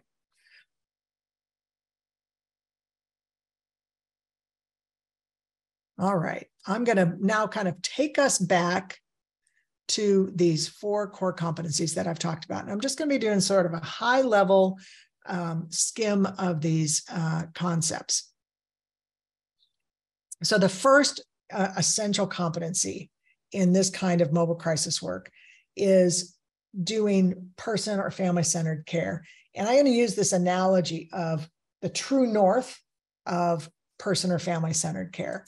And this builds off some thinking of Don Berwick, um, who is really, uh, you know, world world renowned uh, physician and sort of architect of of a lot of, of how a lot of healthcare systems work. He was actively involved in the Affordable Care Act and aspects of that that were not as well known nationally, that really had to do with things like um, developing more collaborative care models, uh, hospitals taking new and innovative approaches to reducing um, some iatrogenic impacts like hospital borne pathogens and, and some of those things. Um, but what Don Berwick said is if you're going to transform healthcare in America, then the experience of consumers and families and communities must serve as true north in that transformation. You can't take a group of doctors and put them into a room and have the doctors themselves build the healthcare system. We have to hear from people who are using those services. Joyce Burland of National NAMI fame takes that further by saying this means that the ordinal point for system quality has to be derived from the recipient's reality. This is our lived experience. These are our needs and our beliefs and our strengths and our reactions to services that are extended on our behalf. Who do you want to judge the effectiveness of your knee replacement surgery? Does it matter what the doctor says about it, or does it matter how you experienced it? the doctor might say, ah, it's the best knee replacement surgery I've ever done. And you might be thinking, but I really can't walk and I'm in a lot of pain and I don't have a whole lot of range of motion, right? So, what really matters is your experience, it is your knee. And so, we want to make sure that we're really aligning our care to the experience of the person. Person and family centered care is an instead of rather than an addition to service. And it's instead of an expert driven care. It's a shift in how we orient ourselves to the work as the team that's doing that work. Use of a compass kind of helps us understand that substantial difference in orientation. So, in a um, in a uh, kind of an expert orientation, which is really still the most common uh, model of care, which is a medical model. It's sort of the doctor knows best. The doctor comes in, the doctor evaluates, the doctor decides, the doctor recommends. Um, the, the, the smartness is all kind of coming from the brain of the doctor. Um, so here we have the, the person or the family that's getting the service, who they are, where they are, their culture, their beliefs, their worldview. But the intervener is coming in from their own headspace, my worldview, my sense of what needs to happen. So it's sort of 180 degrees difference. It's not aligned with the person, it's sort of aligned with my uh, skills that I'm bringing to this uh, work and my, but through my lens. When I am doing person centered care, I actually have to reorient myself so that I'm delivering my care in alignment with the lens that the person in crisis and their family is using. It's a very different orientation. So I want to see how they see it so that I can start with them where they are. I don't have to agree with where they see it, but I want to see it and start there. So for example, if if a person says, "I need to be in the hospital today," and I don't have any reason to think that they need to be in the hospital, I don't I don't come at it and say, uh, "No, you don't. You don't meet criteria." I come up here and I join with where they are. Say more. Tell me more about that. What thoughts have you been having? What are the good reasons to go to the hospital? I join there. And if you're that person and I join there, you can probably feel being heard, right? And then you can elaborate further. Tell me more. What are the good reasons? What's led you to think that? And it's not because hospitalization is going to be the outcome. It's this is kind of our starting point. And as we talk and as a person develops kind of their narrative here further, we can ask some of those other questions about sort of alternatives, any harms, any past experiences, and and um, and begin to introduce other other sort of ways of solving this problem that that perhaps don't involve hospitalization. Um, person centered is not order fulfillment for fulfillment. Just because a person says, I want to be in the hospital today, doesn't mean we have to come in and do it. This is not McDonald's, right? it's a starting point for a conversation. It gets really complicated. Sometimes there are other entities involved as well. So we have the person in crisis and maybe their school administrator. And so as a team, I might find that I first have to be able to join with the teacher so that we can both, or administrator, so we can both collectively do a kind of a person centered lens here uh, with the uh, with the person in crisis. Um, so that's kind of one way of thinking about it. That I, Kappy, have to step step up out of my own shoes and come up here and see it the way they do it. It's not natural. Most naturally, I look at it through my Kappy lens. And I want to be able to see it through their lens, their culture, their experience, their preferences, priorities. When I do that, there's a change in the power dynamic. And this arrow kind of, this kind of different graphic here gives a sense of that change. So most care is sort of that traditional medical model, uh, expert driven model, where really the, the team of providers sort of holds their point of view, their expertise in sort of high regard. It, it can diminish the uh, sort of the knowledge and information that the person brings. Um, and so there's high power um, for um, the team in this expert driven model. And the person in crisis really has minimal power. You think about that when you layer on um, the legal process uh, that is a 5150 and 5585. Um, that adds a even additional amount of power to the uh, the mobile team with really minimal power for uh, the person uh, in crisis. When we're doing person and family centered care, we get an equalization of that power and a sense that both people bring vital information to this. Both people have smart ideas about what should happen next, and that this is a very kind of collaborative, power sharing sort of uh, place. When we get to person or family driven care, now the power differential has shifted so that the person in crisis really is the one with most of the power. And folks that have really achieved sort of a level of recovery that have a very, very clear sense of what works and what they need um, can, can uh, uh, be really empowered in this kind of a model to really guide their own uh, kind of supported recovery. So we want to play with all of these sort of concepts of power. This is tricky. Again, when we're concerned about liability, it can feel very scary to feel like I'm giving up power. But person centeredness does not uh, is not sort of a, a power giveaway, it's a power share.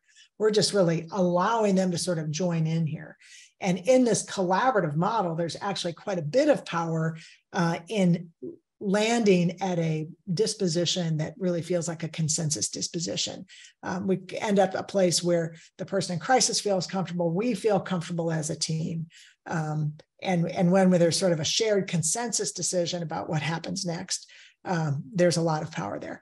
I do not, when I shift to that person centered mode, I'm not giving up my expertise. I'm giving up my expert stance, right? I'm giving up that expert lens. It takes a lot of expertise to be person centered. It takes a lot of expertise to hold this belief of, gosh, this person surely doesn't need hospitalization, but still be willing to join and say, hey, credible, capable, intuitive person, tell me more what, what are you thinking about hospitalization? Right. And now that a person feels heard, listened to, and understood, they can articulate that better. And maybe they'll say, well, that's what my doctor told me I needed. That's what my PCP told me I needed. We don't know what'll come next. But because we've joined, because they feel heard, listened to, and understood, they'll come up to this higher kind of cognitive level, and we can work that out and introduce some other options. So this is a shift away from that treatment provider lens. Um, and for me as a treatment provider, the challenge is I'm aligning differently um, with people in different circumstances, right? And even during the course of a crisis episode, where a person is will shift. Heightened crisis state, I want to join there calmer, activated, empowered state, I want to join there. Things will sort of shift all along, but I'm just sort of moving with the person as they move and they get relief and, and experience some recovery. Some notes about aligning with True North. Uh, perfection is not possible. Um, the True North for an individual is continuously shifting. And we are, when we do this, we are sort of you know providing services in the dark. I'm not really standing in their shoes um, but i'm doing the best i can to sort of join them where they are. This is a strength-based approach but some word to the a word to the wise here. Uh, strengths are not always pretty.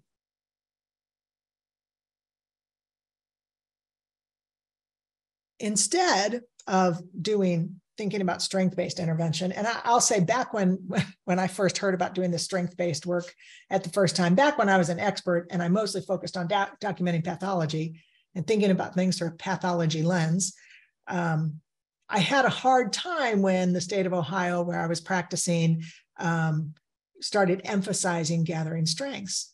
And I was like, you know, how is how does it matter if they're good at basketball and basket weaving and you know, handwriting or art or whatever, how does that really matter here, right? We're here to focus on this pathology.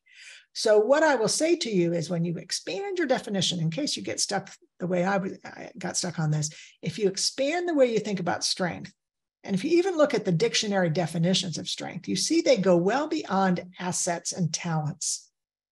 And, in, and instead, they really talk about strong, dominant kinds of words. And so if we think strong based interventions, it's easier for us to, to join in that way 100% of the time. I need to be in the hospital today. Tell me more. right? That's a join, even though it's strong. I'm deeply angry. Tell me more. This doesn't feel safe to me. Let's make it safer. So I'm going to look for what's dominant and join there. So where is their concentrated focus, intensity, strong emotion? Where is their resistance and avoidance? How do I join there? Some of these strong responses will actually turn us off, and they might seem like signs of pathology. And they might even be evidence for a higher level of care. Like I start documenting these as part of the mental status exam. Resistant, manipulative, avoidant, poor judgment, no insight, lacks insight into illness, lacks insight into need for higher level of care, right? I can get turned off by it, revert to expert mode, and start interpreting what I'm seeing as signs of more illness, when in fact, what might be happening is I'm seeing the iatrogenic impact of the approach I'm taking right? Like I might actually be the one that's producing these kind of reactions. Not signs of the mental illness, but signs of a normal, natural fight, flight, freeze re- response to the approach that I'm taking.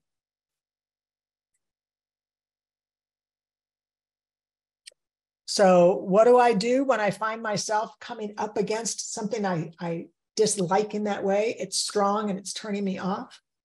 I step out of my expert interpretation about what I'm seeing and I reorient to the lens of the person that I'm engaging. I remind myself this is a credible, capable, intuitive person who's able to collaborate. That gets me in the headspace. And this credible, capable, intuitive person is refusing.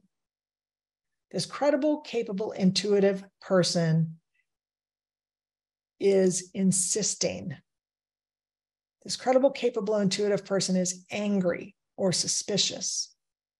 Now, how am I predisposed to respond when I add that little element?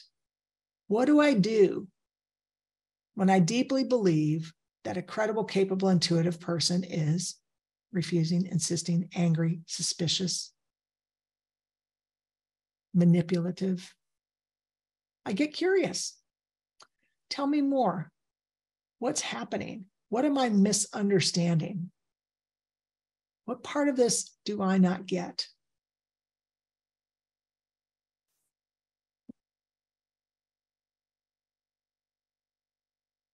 it takes some practice to play that out when you start to sort of play if, if you and, and i'm sure many of you have versions of this that you already use but if if taking that kind of strength based approach credible you know competent capable capable incredible piece.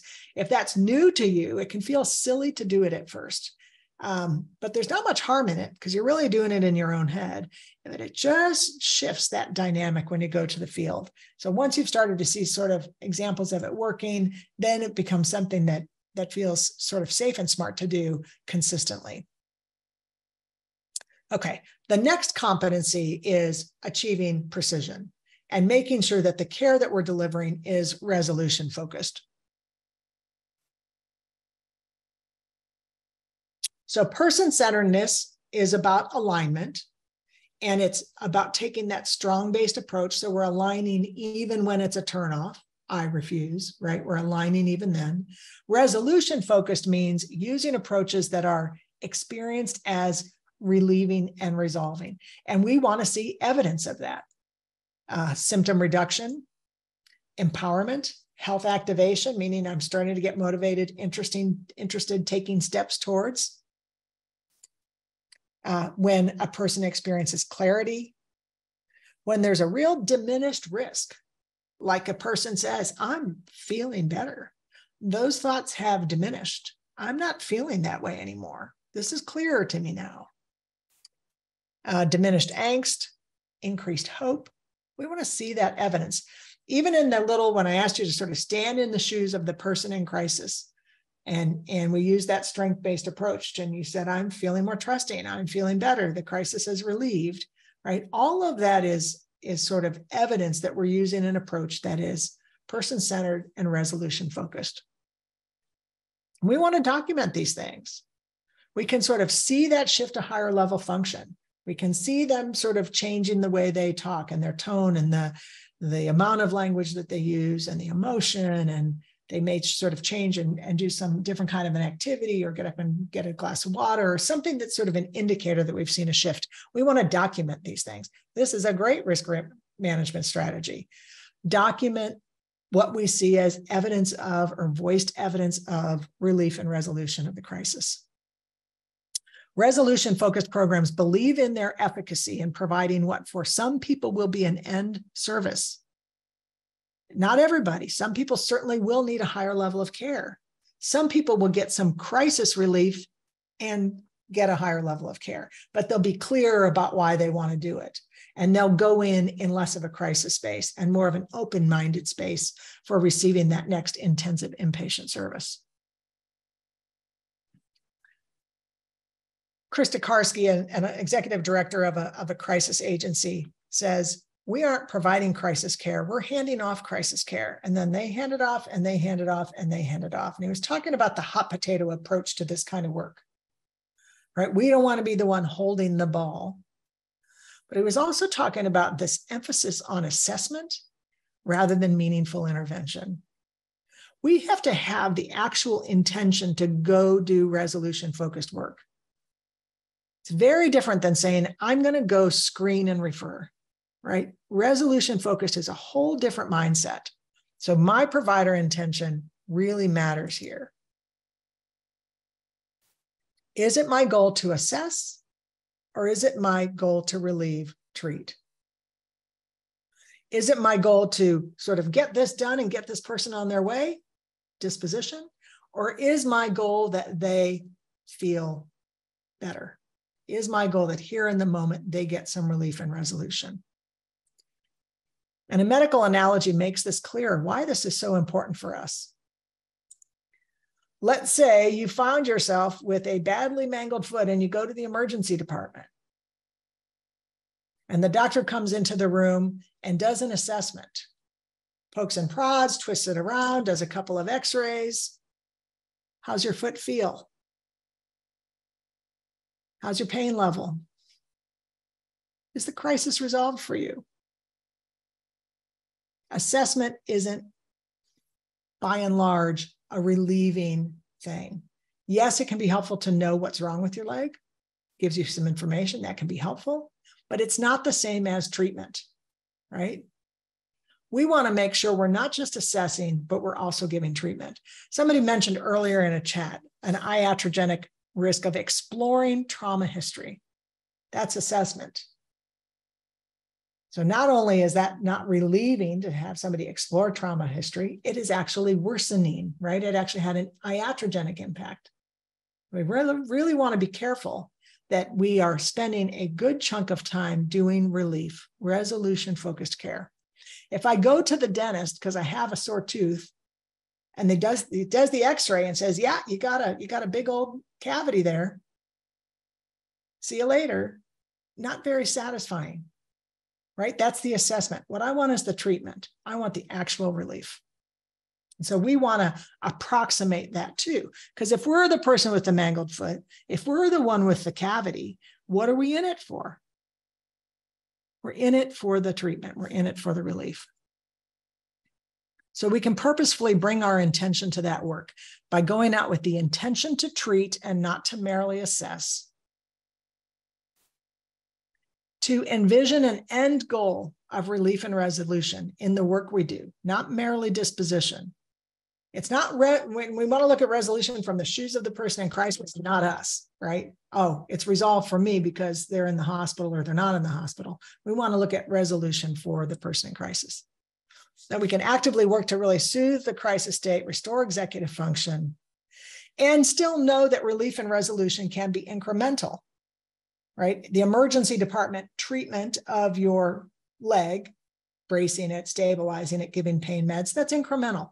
There still might be more treatment down the road, but we can be doing uh, relieving work at this point of contact as well. Even if more relieving work can happen in the hospital afterwards, for example. It's important that we don't view treatment, relieving treatment as the next person's job.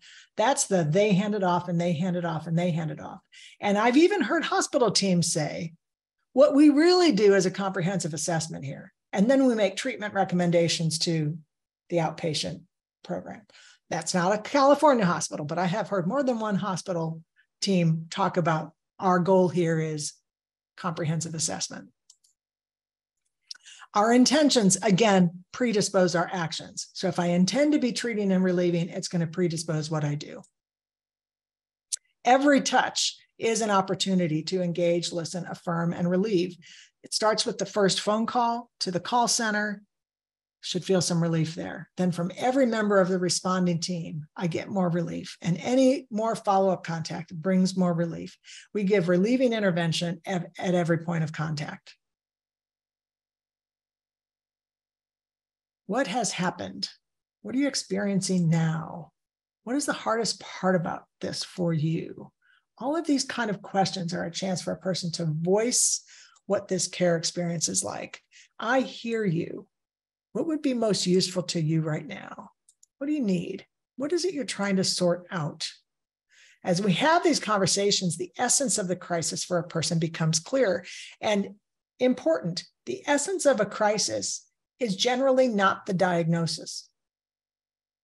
Often, the essence of the crisis is one or more of these human experiences fear, sadness, anger, exhaustion, hunger, lack, these are the kinds of things that swamp and swarm the amygdala when we're in crisis. And this is not a comprehensive list, but it's a decent list of a starter here. So I have schizophrenia, but the crisis state is the loneliness and isolation that I'm experiencing because I'm no longer working and I don't have my friends around anymore. Or it might be the grief I have at my career that was cut short, right? Uh, or it might be the lack because I lost the job and I don't have an income, right? Or it might be the uncertainty related to not having steady housing, right? The crisis state is not the schizophrenia. And we don't solve the crisis state by upping meds if the crisis state is boredom, isolation, exhaustion, fear in the community, right? We don't want to get so diagnostically fixated that everything we see, we see as a symptom of a diagnosis. Okay. Again, that was all sort of three sort of short reviews of those competencies. The fourth competency is now this crisis system of care model. There are other um, kind of example models out there. If you think about sort of public health models, some of you might be involved in sequential intercept models, which are aimed at, at helping, uh, you know, it's kind of the intersection between the mental health behavioral health and the and the criminal justice system and sort of a systemic approach to really uh, interface at, at, different points of that criminal justice system. Some of you might be familiar with children's systems of care models. Um, crisis services are necessarily systemic uh, and the management and treatment of mental health and substance use crises is complex systems level public health type uh, need and it necessitates a commensurate response. This if you if you have been doing in your county if the if the mobile crisis response has been more limited to making sort of that 5150 determination and maybe that involved you sort of going into an emergency department making that determination and recommendation and leaving, the need for this broader crisis system of care model may not be as clear. Uh, but if you have been doing more of the infield um, resolution focused work, then it's probably clear to you how dependent you are on sort of this broader system uh, in order to get a good uh, result. If you look at something like an ACT team, an ACT team is very internally reliant. Like if we're a high fidelity ACT team, we can pretty insularly really ma- help people stay safe in the community and, and really recover. Um, crisis teams are externally reliant. We're reliant on all of these decisions and actions from all of these other entities. So these challenges um, set crisis services apart from other types of behavioral health because there's really no single entity in a community and no single system that owns full responsibility for managing behavioral health crises. So for good crisis teams, uh, we have to have high external reliance on these other sort of partners and players in the community, whether they know it or not. Crisis systems do not naturally exist in a community. They do have to be built. In the absence of a built crisis system, it is going to be sort of reliance on things that are often present, like 911 and law enforcement and emergency departments and, and often jails. Uh, and although crisis systems can look uh, differently in different communities, um, they are there are some commonalities um, as I've seen uh, models across the the country, and the more you invest in each of the these models in the crisis system, um, the more likely you're going to have sort of the the kind of depth and breadth that that allows for a really good functioning system. Um, and so that includes uh, invest investing in sort of each of these five phases, kind of systemic investments in each of these five phases of crisis. Um, although this kind of follows the arc of a crisis episode for a person, we're really talking about investments. What, for example, as a county, are we doing in terms of, of investing in crisis prevention? And what do we have in place in terms of early intervention options for a person in crisis? Is there a rapid way to get back in with my treatment provider, for example, if I'm seeing early signs of? And then the acute intervention phase, which includes mobile crisis work, crisis treatment, which includes community stabilization, inpatient hospital, crisis beds, any of those kinds of things. And then how well are we doing on that reintegration phase after a crisis episode? So we want to pay attention to all five of those. Mobile crisis teams are, you know, especially with this new service definition, you have a chance now to really get in uh, earlier before things get so acute. So you really fall here. So you, that's your kind of point of leverage. And of course, you can do crisis planning with somebody to prevent the next. But your point of leverage as a mobile crisis team is not here. And, it, and it's not here, right? We really are counting on the other entities to do that work. So we've got to work in sort of larger collaborative fashion. Um, you know, somebody put a note in, you know, well, hospitals have a preference to admit somebody involuntarily. Well, that's an impact. We've got a problem here at the crisis treatment phase right? And until that gets fixed, we're going to continue to have a challenge here of people experiencing sort of unnecessary, involuntary iatrogenic care until, as a system, we kind of get that resolved. In addition to these phase opportunities, these are five other sort of essential components here, starting with the importance of lived experience. Uh, involving people with lived experience in program development, oversight, and service delivery, right? You can't do it without us. We've got to be involved in this in order to have that work well. So, lived experience is key. Um, having a strong set of players, again, they may or may not know how essential they are as a player in the system, but that means over time really developing good strong collaborations with the schools and with the probation departments and and with the um, uh, IDDD service providers and and with those that are providing substance use services um, and with law enforcement and with courts um, that we build the kind of logistics that make this work simpler that make it easier for teams to move in and out that make it easier for teams to um, uh, get the information they have. Um, and so we just have a good flow. Think of this as a giant countywide factory. How do we facilitate the movement of people and data? we have good, strong competencies. I, I, I, am just a couple minutes, Danielle. That we have good, strong competencies across the field and not limited to just the crisis team. Uh, I know many of your communities are invested in CIT, and that's a tremendous investment. It increases the competencies of law enforcement. Schools can do the same, right? So we get a broader set of people who are using these good trauma informed approaches. And then the last thing is the parts. Adding mobile crisis service, that's a great new part.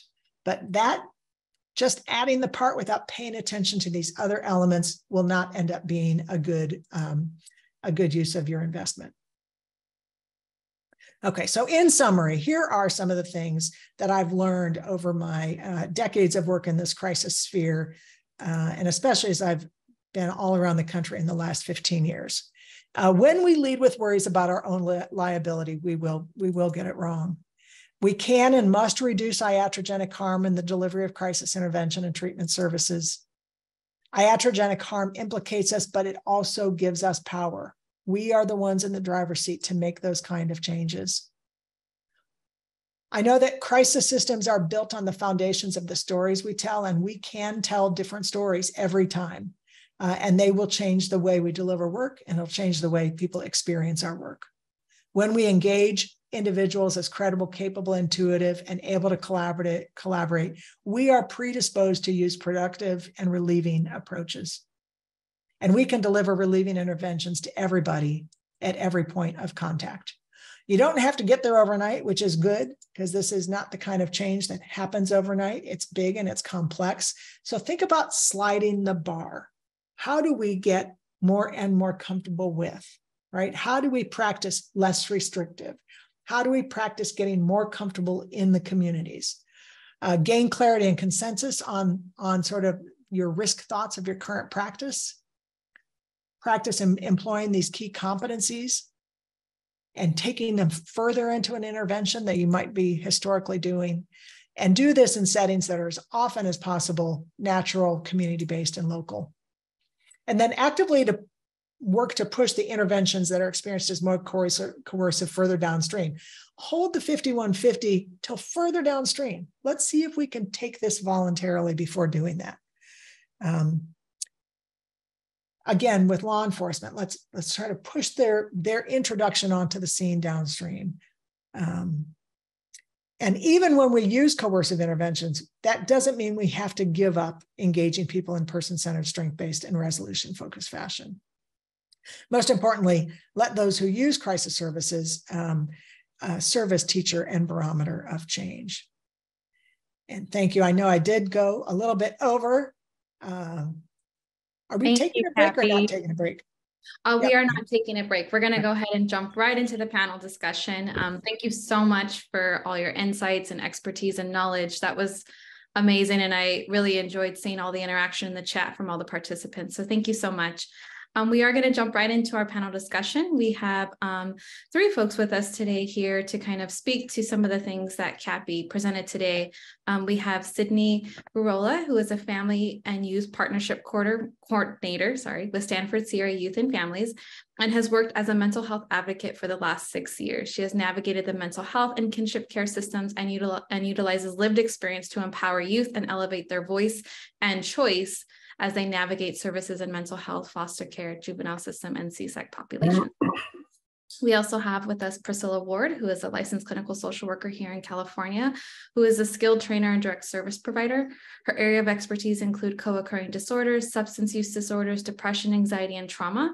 Um, she has trained law enforcement personnel, so um, working with co-responder models, educators, and interns on the topics ranging from trauma-informed care, res trauma-responsive schools, harm reduction, mental health treatment, crisis intervention, um, and so on.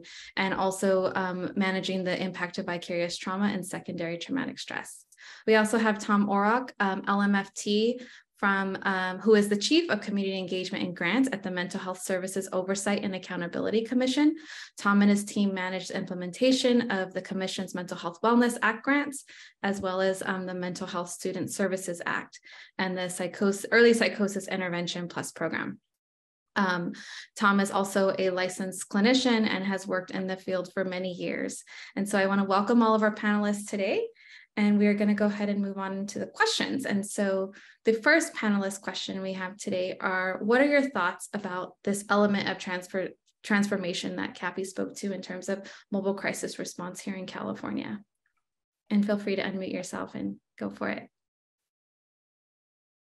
I can chime in. Um, so uh, it's really exciting to see this shift happening. Um, I think that um, most of us here have a uh, value of taking care of people and serving people, but there's a difference between serving people and serving people well.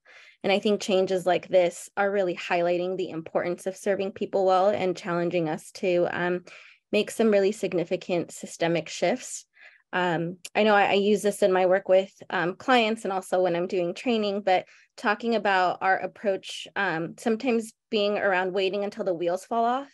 And we don't need to wait until the wheels fall off. We don't need to wait until a person um, is in the worst shape possible before we intervene and um, implement some of the things that Kappy talked about um, with uh, being person centered and and helping to resolve and relieve uh, what they're encountering. So it's exciting to see this the um, policy changes. Um, also, like understanding that um, the implementation is challenging. Right, there's a lot of barriers. There's um, still systemic things that um, everybody in in our organizations are going to have to deal with, and so it's going to take some time to see that trickle down. But overall, um, we're moving, I think, in a good direction. Thank you, Priscilla. Tom or Sydney, did you want to weigh in on that one?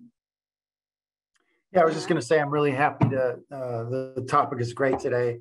Thank you, Kappy, and um, I'm really just happy to see uh, all the energy and effort uh, going into this. Happy to see that there's more sustainable um, models coming through, and that we have funding to support mobile crisis teams all over California.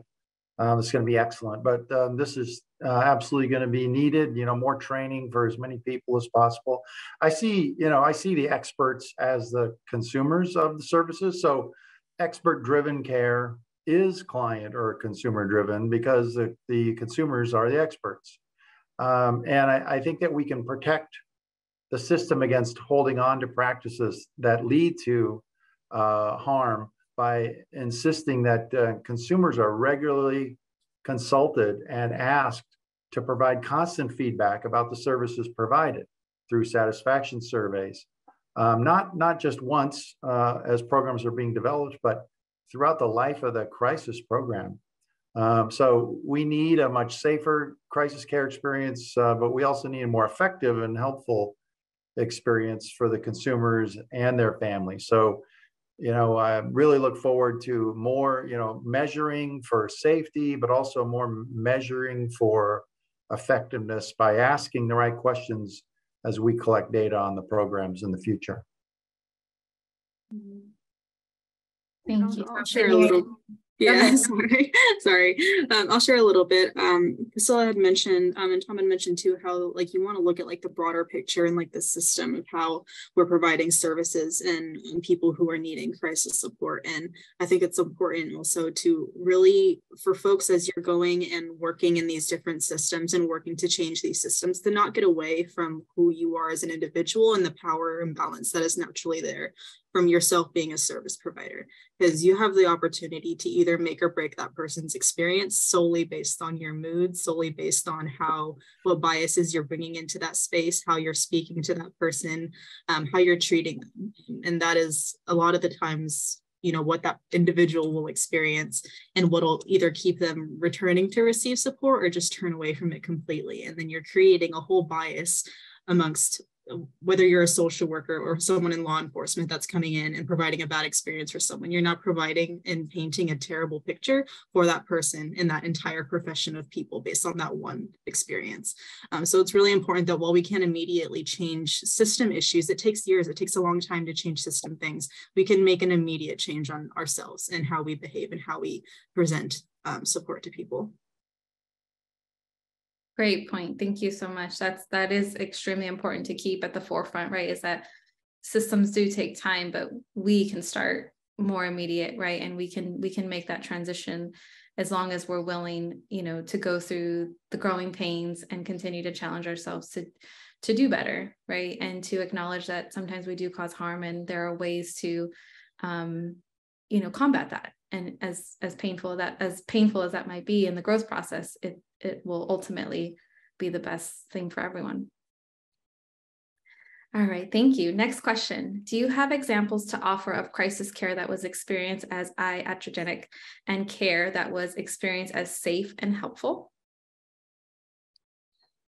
I'm happy to uh, weigh in on this. Uh, um, both as a parent and as a therapist, I have, you know, and uh, in terms of my work at the commission, um, in um, administering grants for mobile crisis across the state.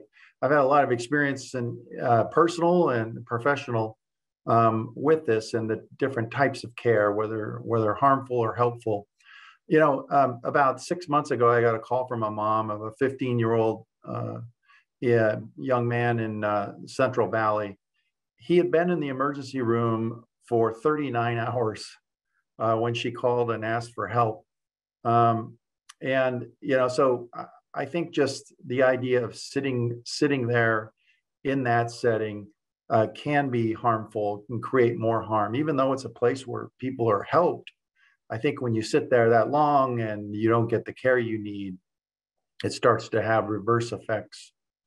Um, you know, and as a parent, um, many years ago, raising our son who had ADHD and a, uh, dyslexia and learning disabilities, um, I had I've had police officers in our home with our son uh, uh, when he was experiencing a mental health crisis. I can tell you that some officers were able to skillfully balance the job of keeping the public safe with the job of expressing care and empathy to our son going through it. Um, we've also uh, had the experience of being made to feel as if we were horrible parents and our son uh, was was a bad kid. Um, you know, he's one of those students, uh, like I said, with with disabilities that caused him to act out as opposed to act in. He really showed his frustration when he was in, in uh, third grade. He was in handcuffs in the back of a police car, uh, I, and you know, and then in my work at the commission, I've been able to talk with several teams of clinicians with law enforcement officers, and we really were able to uncover a lot of the philosophical differences that exist in mental health versus law enforcement. And, um, you know, I have seen great examples of, of, of law enforcement uh, officers who were just excellent with, with people and with our son and with us. Um, and I've seen uh, the opposite of that. I've also seen the same with mental health clinicians. To be honest, I, have seen really uh, poor examples of care and empathy uh, from the mental health side. And so I, I, really don't know if it makes much difference where you come from, but um, I think that's why the training is so critical that you know we're doing today, and um, just to get everybody trained as much as possible, so that we can make this a safer situation for everybody. I have a recent example of some iatrogenic harm um, as well. This is just a couple of months ago. Um, you know, I work with um, high crisis uh, clients. Um, so um, I had a client who was actively uh, suicidal um, he followed um, our plan, but still called me to let me know he was done. And I've worked with this client long enough to to know the nuances and the way that he engages, he responds to things that he shares. And so we were in a pretty dicey situation. So my goal was let me just try to keep him on the phone as long as possible while I'm uh, at the same time messaging his parents and saying at this point we need to call 911 we need somebody there right now we don't have the um, ability to to wait um, for a crisis response team. Um, and so coaching them through that while also doing this. And, um, you know, I've shared before that I'm fortunate that um, this was not our first rodeo with this family. And so they were very quick to activate um, and trust and understand what we needed to do. And I'm doing my best to keep um, this young man uh, safe as long as possible um, and talking to him through like okay let's join you with your parents um, this is what's happening um, and really leaning into the trust that we've determined uh, or we've established in our relationship um, only to have all of that crumble once um, responders made it on scene.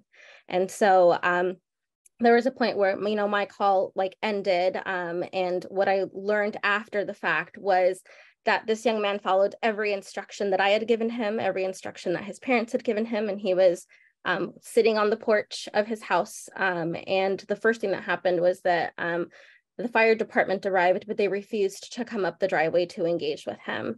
Um, then there's like four or five police cars coming up the street. And the first thing that they do when they walk up, they ask no questions. They immediately put him in handcuffs and put him in the back seat of uh, a police car and then proceed to ask the parents um, for a for a tour of the home. And so the parents took that to understand that they um, they were looking for some type of criminal offense. Um, and so they explained this is a mental health crisis. We were on the phone with this therapist. This is what's going on. Didn't matter. They came in and took the, the tour of the house. And the parents said, you know, we were hoping that if we were nice to the officers, they would be nice to our son. Um, so this young man sat in the back seat of a car for about 20 minutes. Um, and at this point, he had he was in a complete panic. Um, by the time an EMT took his blood pressure, it, it, he was a mess, um, and they believed that he could possibly be having a heart attack.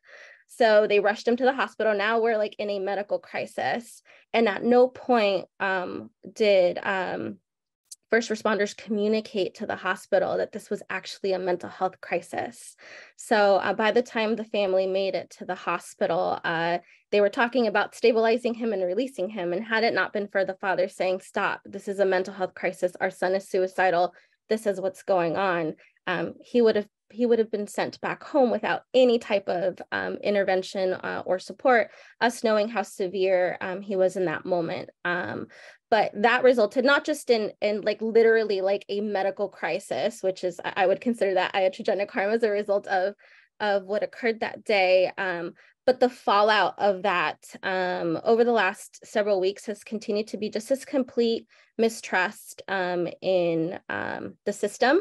Uh, statements like, I will never call for help again. I will never like reach out to anybody again. I can't trust them. Like uh, it's terrifying um, and even even um, you know parents sharing a, a, fear of you know had we not been there like would they have done something to him could our son have potentially died or you know all of these other things and so um, i think I think that's that's one example of of uh, some gaps in the system that we have now. I also have a positive example because um, I don't want to just uh, uh, stay in, in the um, the harmful perspective. Um, but I, uh, for a long time, I managed uh, school-based mental health programs, and I had uh, a student at a school who disclosed to an educator um, some suicidal ideation. Um, there was not availability from anybody on our team to come in and do an immediate response, but this was a high-risk student, teen mom who had uh, recently lost um, a baby to SIDS.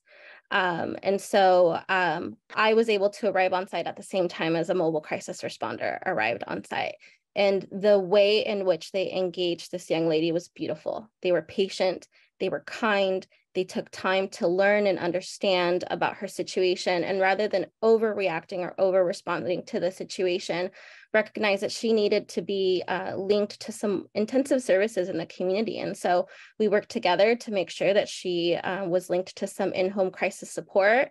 Um, she got hooked up to uh, long term mental health services, and that situation was able to stabilize, but she was also able to have some uh, long term follow up care that she was really needing as she was grieving.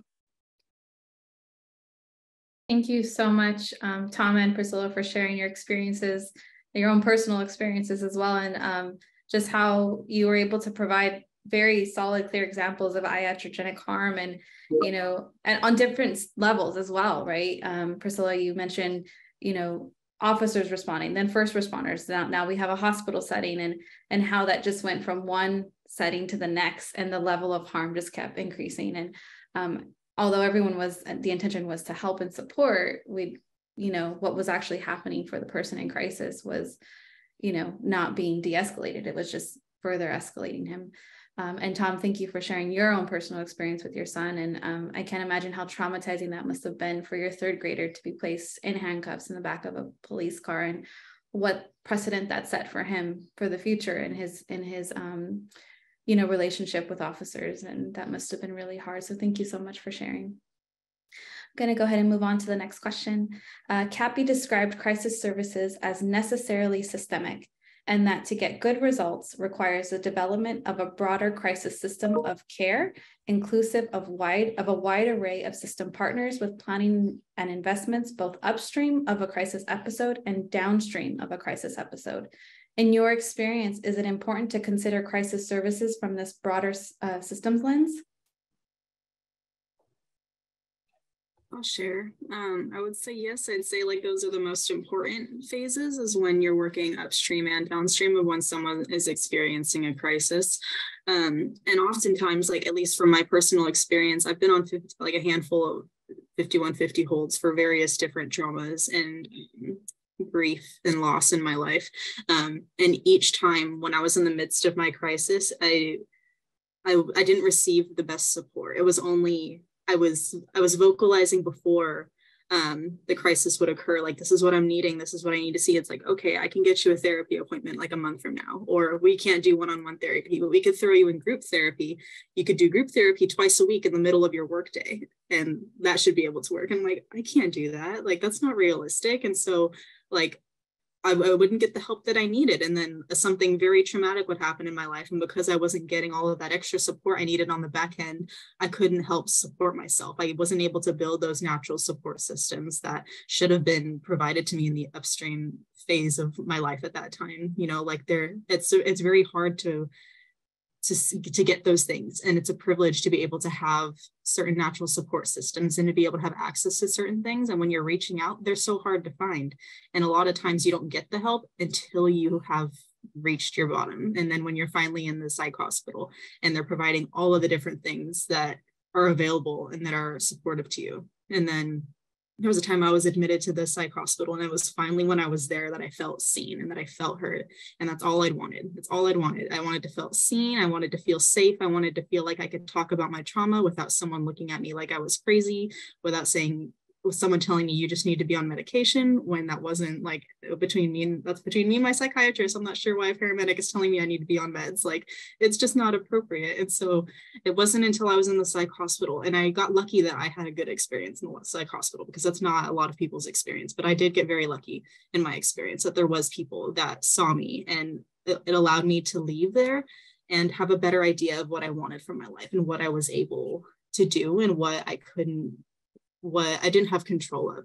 And so when you have the right support system, you're able to help pick yourself up. And that's not the case for everybody, but who you meet throughout that process and who's there supporting you makes the world of difference. And yeah, even with the downstream process, I feel like for me that also wasn't the greatest. I, you know, I had my psych hospital admission, admission and then when I was released, then all of a sudden my therapist and my um, service provider at the time was not let's do biweekly appointments. Let's meet you all the time. Like i'm like okay where was all this help when i needed it before the crisis happened? What's up with, why are you all trying to call me all the time now and trying to schedule all of these things and trying to put me in programs that i don't need support in? I was experiencing a, grief at the time. Um, i had lost my two-year-old daughter and they're putting me in um, substance abuse um, counseling. Um, DDIOP was the program that they put me in. Um, and those are for individuals with um, substance abuse challenges and mental health diagnosis. And while I um, had an issue with substances at the time of my loss, my mental health diagnosis had nothing to do with what my trauma was, but they wanted to make sure they checked off a box and provided some sort of support to me. And so after just so many touches of different system, I was like, I need to step away from all of you because you're all just making my life so much more hectic than it needs to be. Um, and so those are very, very important to have your upstream and downstream supports like very solidified because like I luckily was able to get out of that very challenging and difficult time of my life. That's not everyone's case. Um, but really ensuring that if you are in either one of those places or if, even if you're in the middle of the crisis support system, um, like realm of support um, that you're just being mindful of how you're saying things what you're choosing to do and how you're choosing to support that person because it really just makes or breaks um, their life at that point. Thank you so much sydney for sharing your own personal story. And um, i you know i really value just your vulnerability now and your ability to share your own experience and how you know that was all iatrogenic harm right? Like that that whole process for you from the start was just harmful and traumatizing and, and unnecessary. And I think that's what's Kappy speaking to, right? Is if the services had been there for you from the start because you weren't an immediate risk or an immediate risk to yourself or others, that that crisis service wasn't there because you know no one was saying or acknowledging that you might be in, needing a level of care evaluation, but you were still in crisis. Um, and it took you going through that process of escalation and needing that higher level of care for you to get the services and care you needed. So thank you so much for sharing and um, for sharing your story and for adding to that. Um, Tom, did you have something to say as well?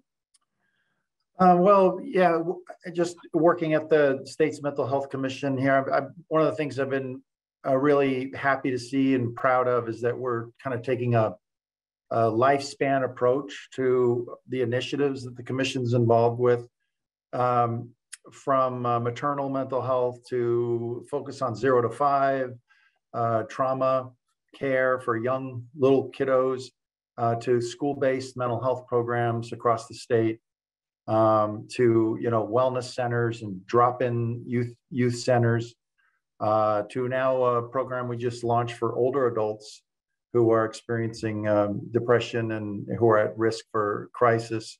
So, I mean, I think within that, within the lifespan, there's so many opportunities to to go further upstream. I mean, if I if I have a peer respite program to go to, I know that there are people available who care about me and don't see me as the problem or an inconvenience. If I'm a student, I know that there's a wellness center on campus. Uh, I may, you know, when I'm feeling anxious or being teased or feel out of place, you know, that can really help to interrupt future crisis.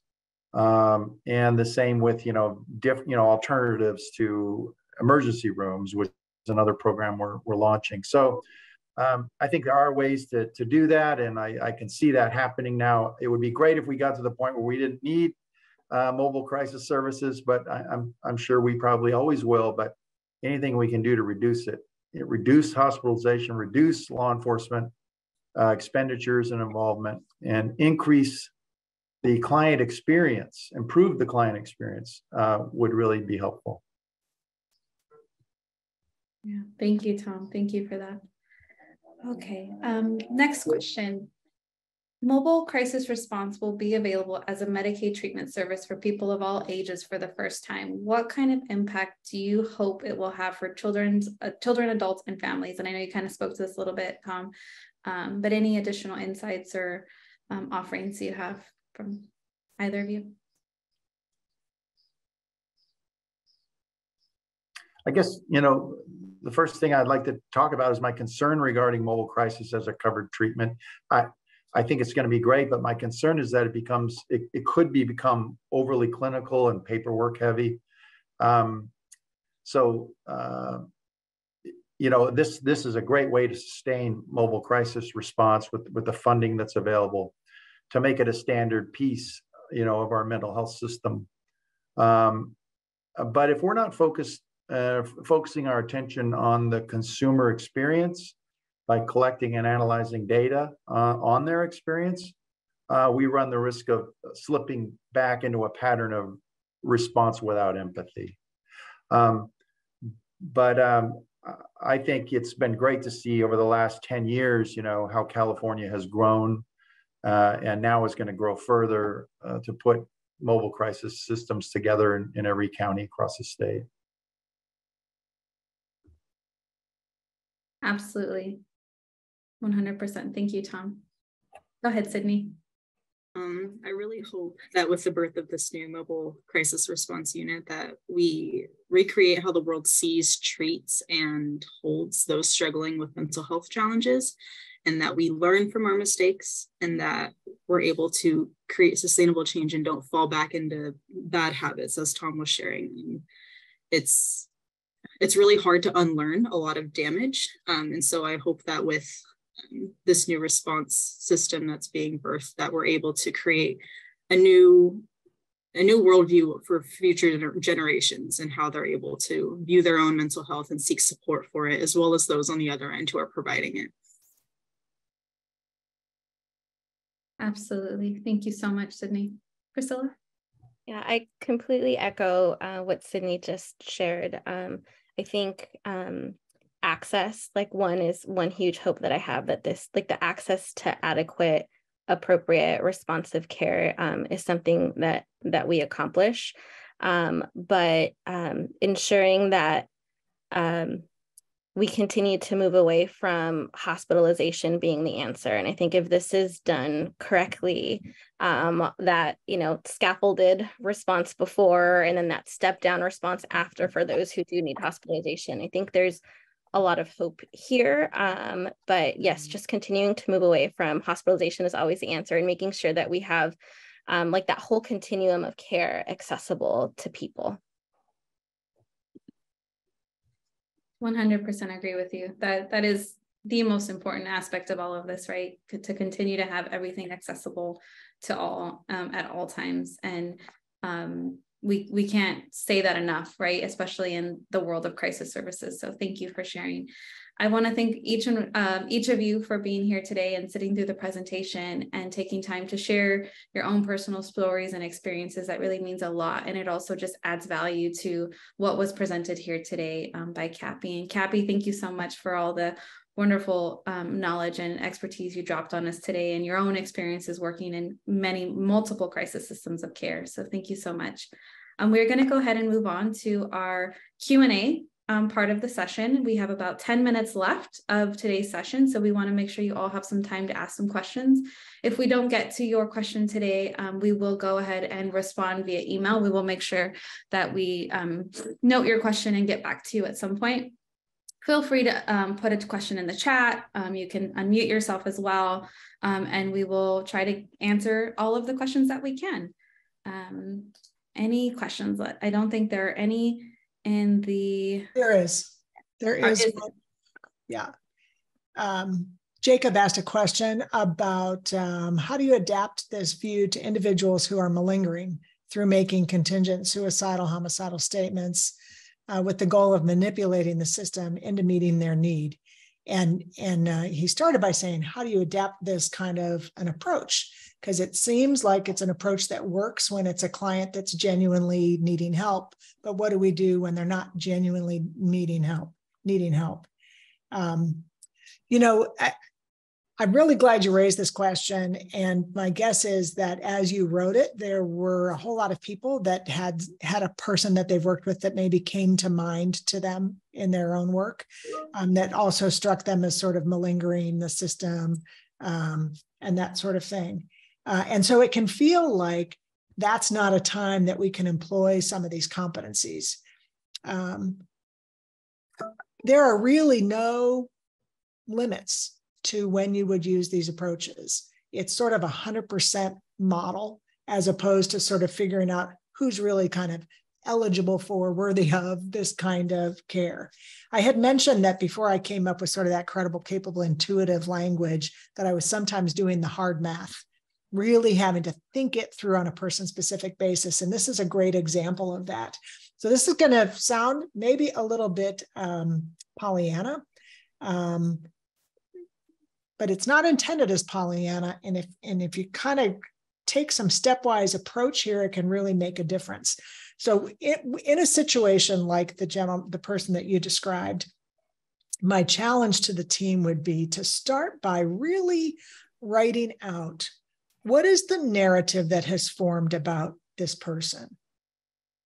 What are our deep beliefs? What's the deficit story that's formed? That's kind of question number one. And then the second one, you can just do this in columns up on a whiteboard. The second one is how has that story over time predisposed us to act with them? What's kind of happened to our amygdala, in other words, and how does it predispose us to act? And then the third question is now take off your treatment hat and stand in that person's shoes from those shoes, how do you experience it when the team comes out frustrated, you know, irritated, doing the same thing over again, angry, limit setting, whatever that might be? How are you experiencing it as the person in crisis? And then go a little bit further there, staying in that first person view of the person in crisis. Answer from that first person view what does the team not understand? How are you experiencing this kind of care? What is the team missing right and as you really kind of explore that in first person way now begin to make a list what really is the essence of the crisis for this person what's the essence of the crisis for the person that is uh, malingering and continuing to come back and taking advantage of the system, right? From their shoes, can we get to the essence of the crisis? We don't come across well when our our limbic system is swamped and swarmed. And this person is not coming across well either with limbic system swamped and swarmed. So as we really began to sort of identify the essence of the crisis, unheard, unloved, unlistened to, whatever those might things things might be, you'll find a little rise of empathy. It's the kind of thing that makes it easier for us to come up here and see it the way they see it.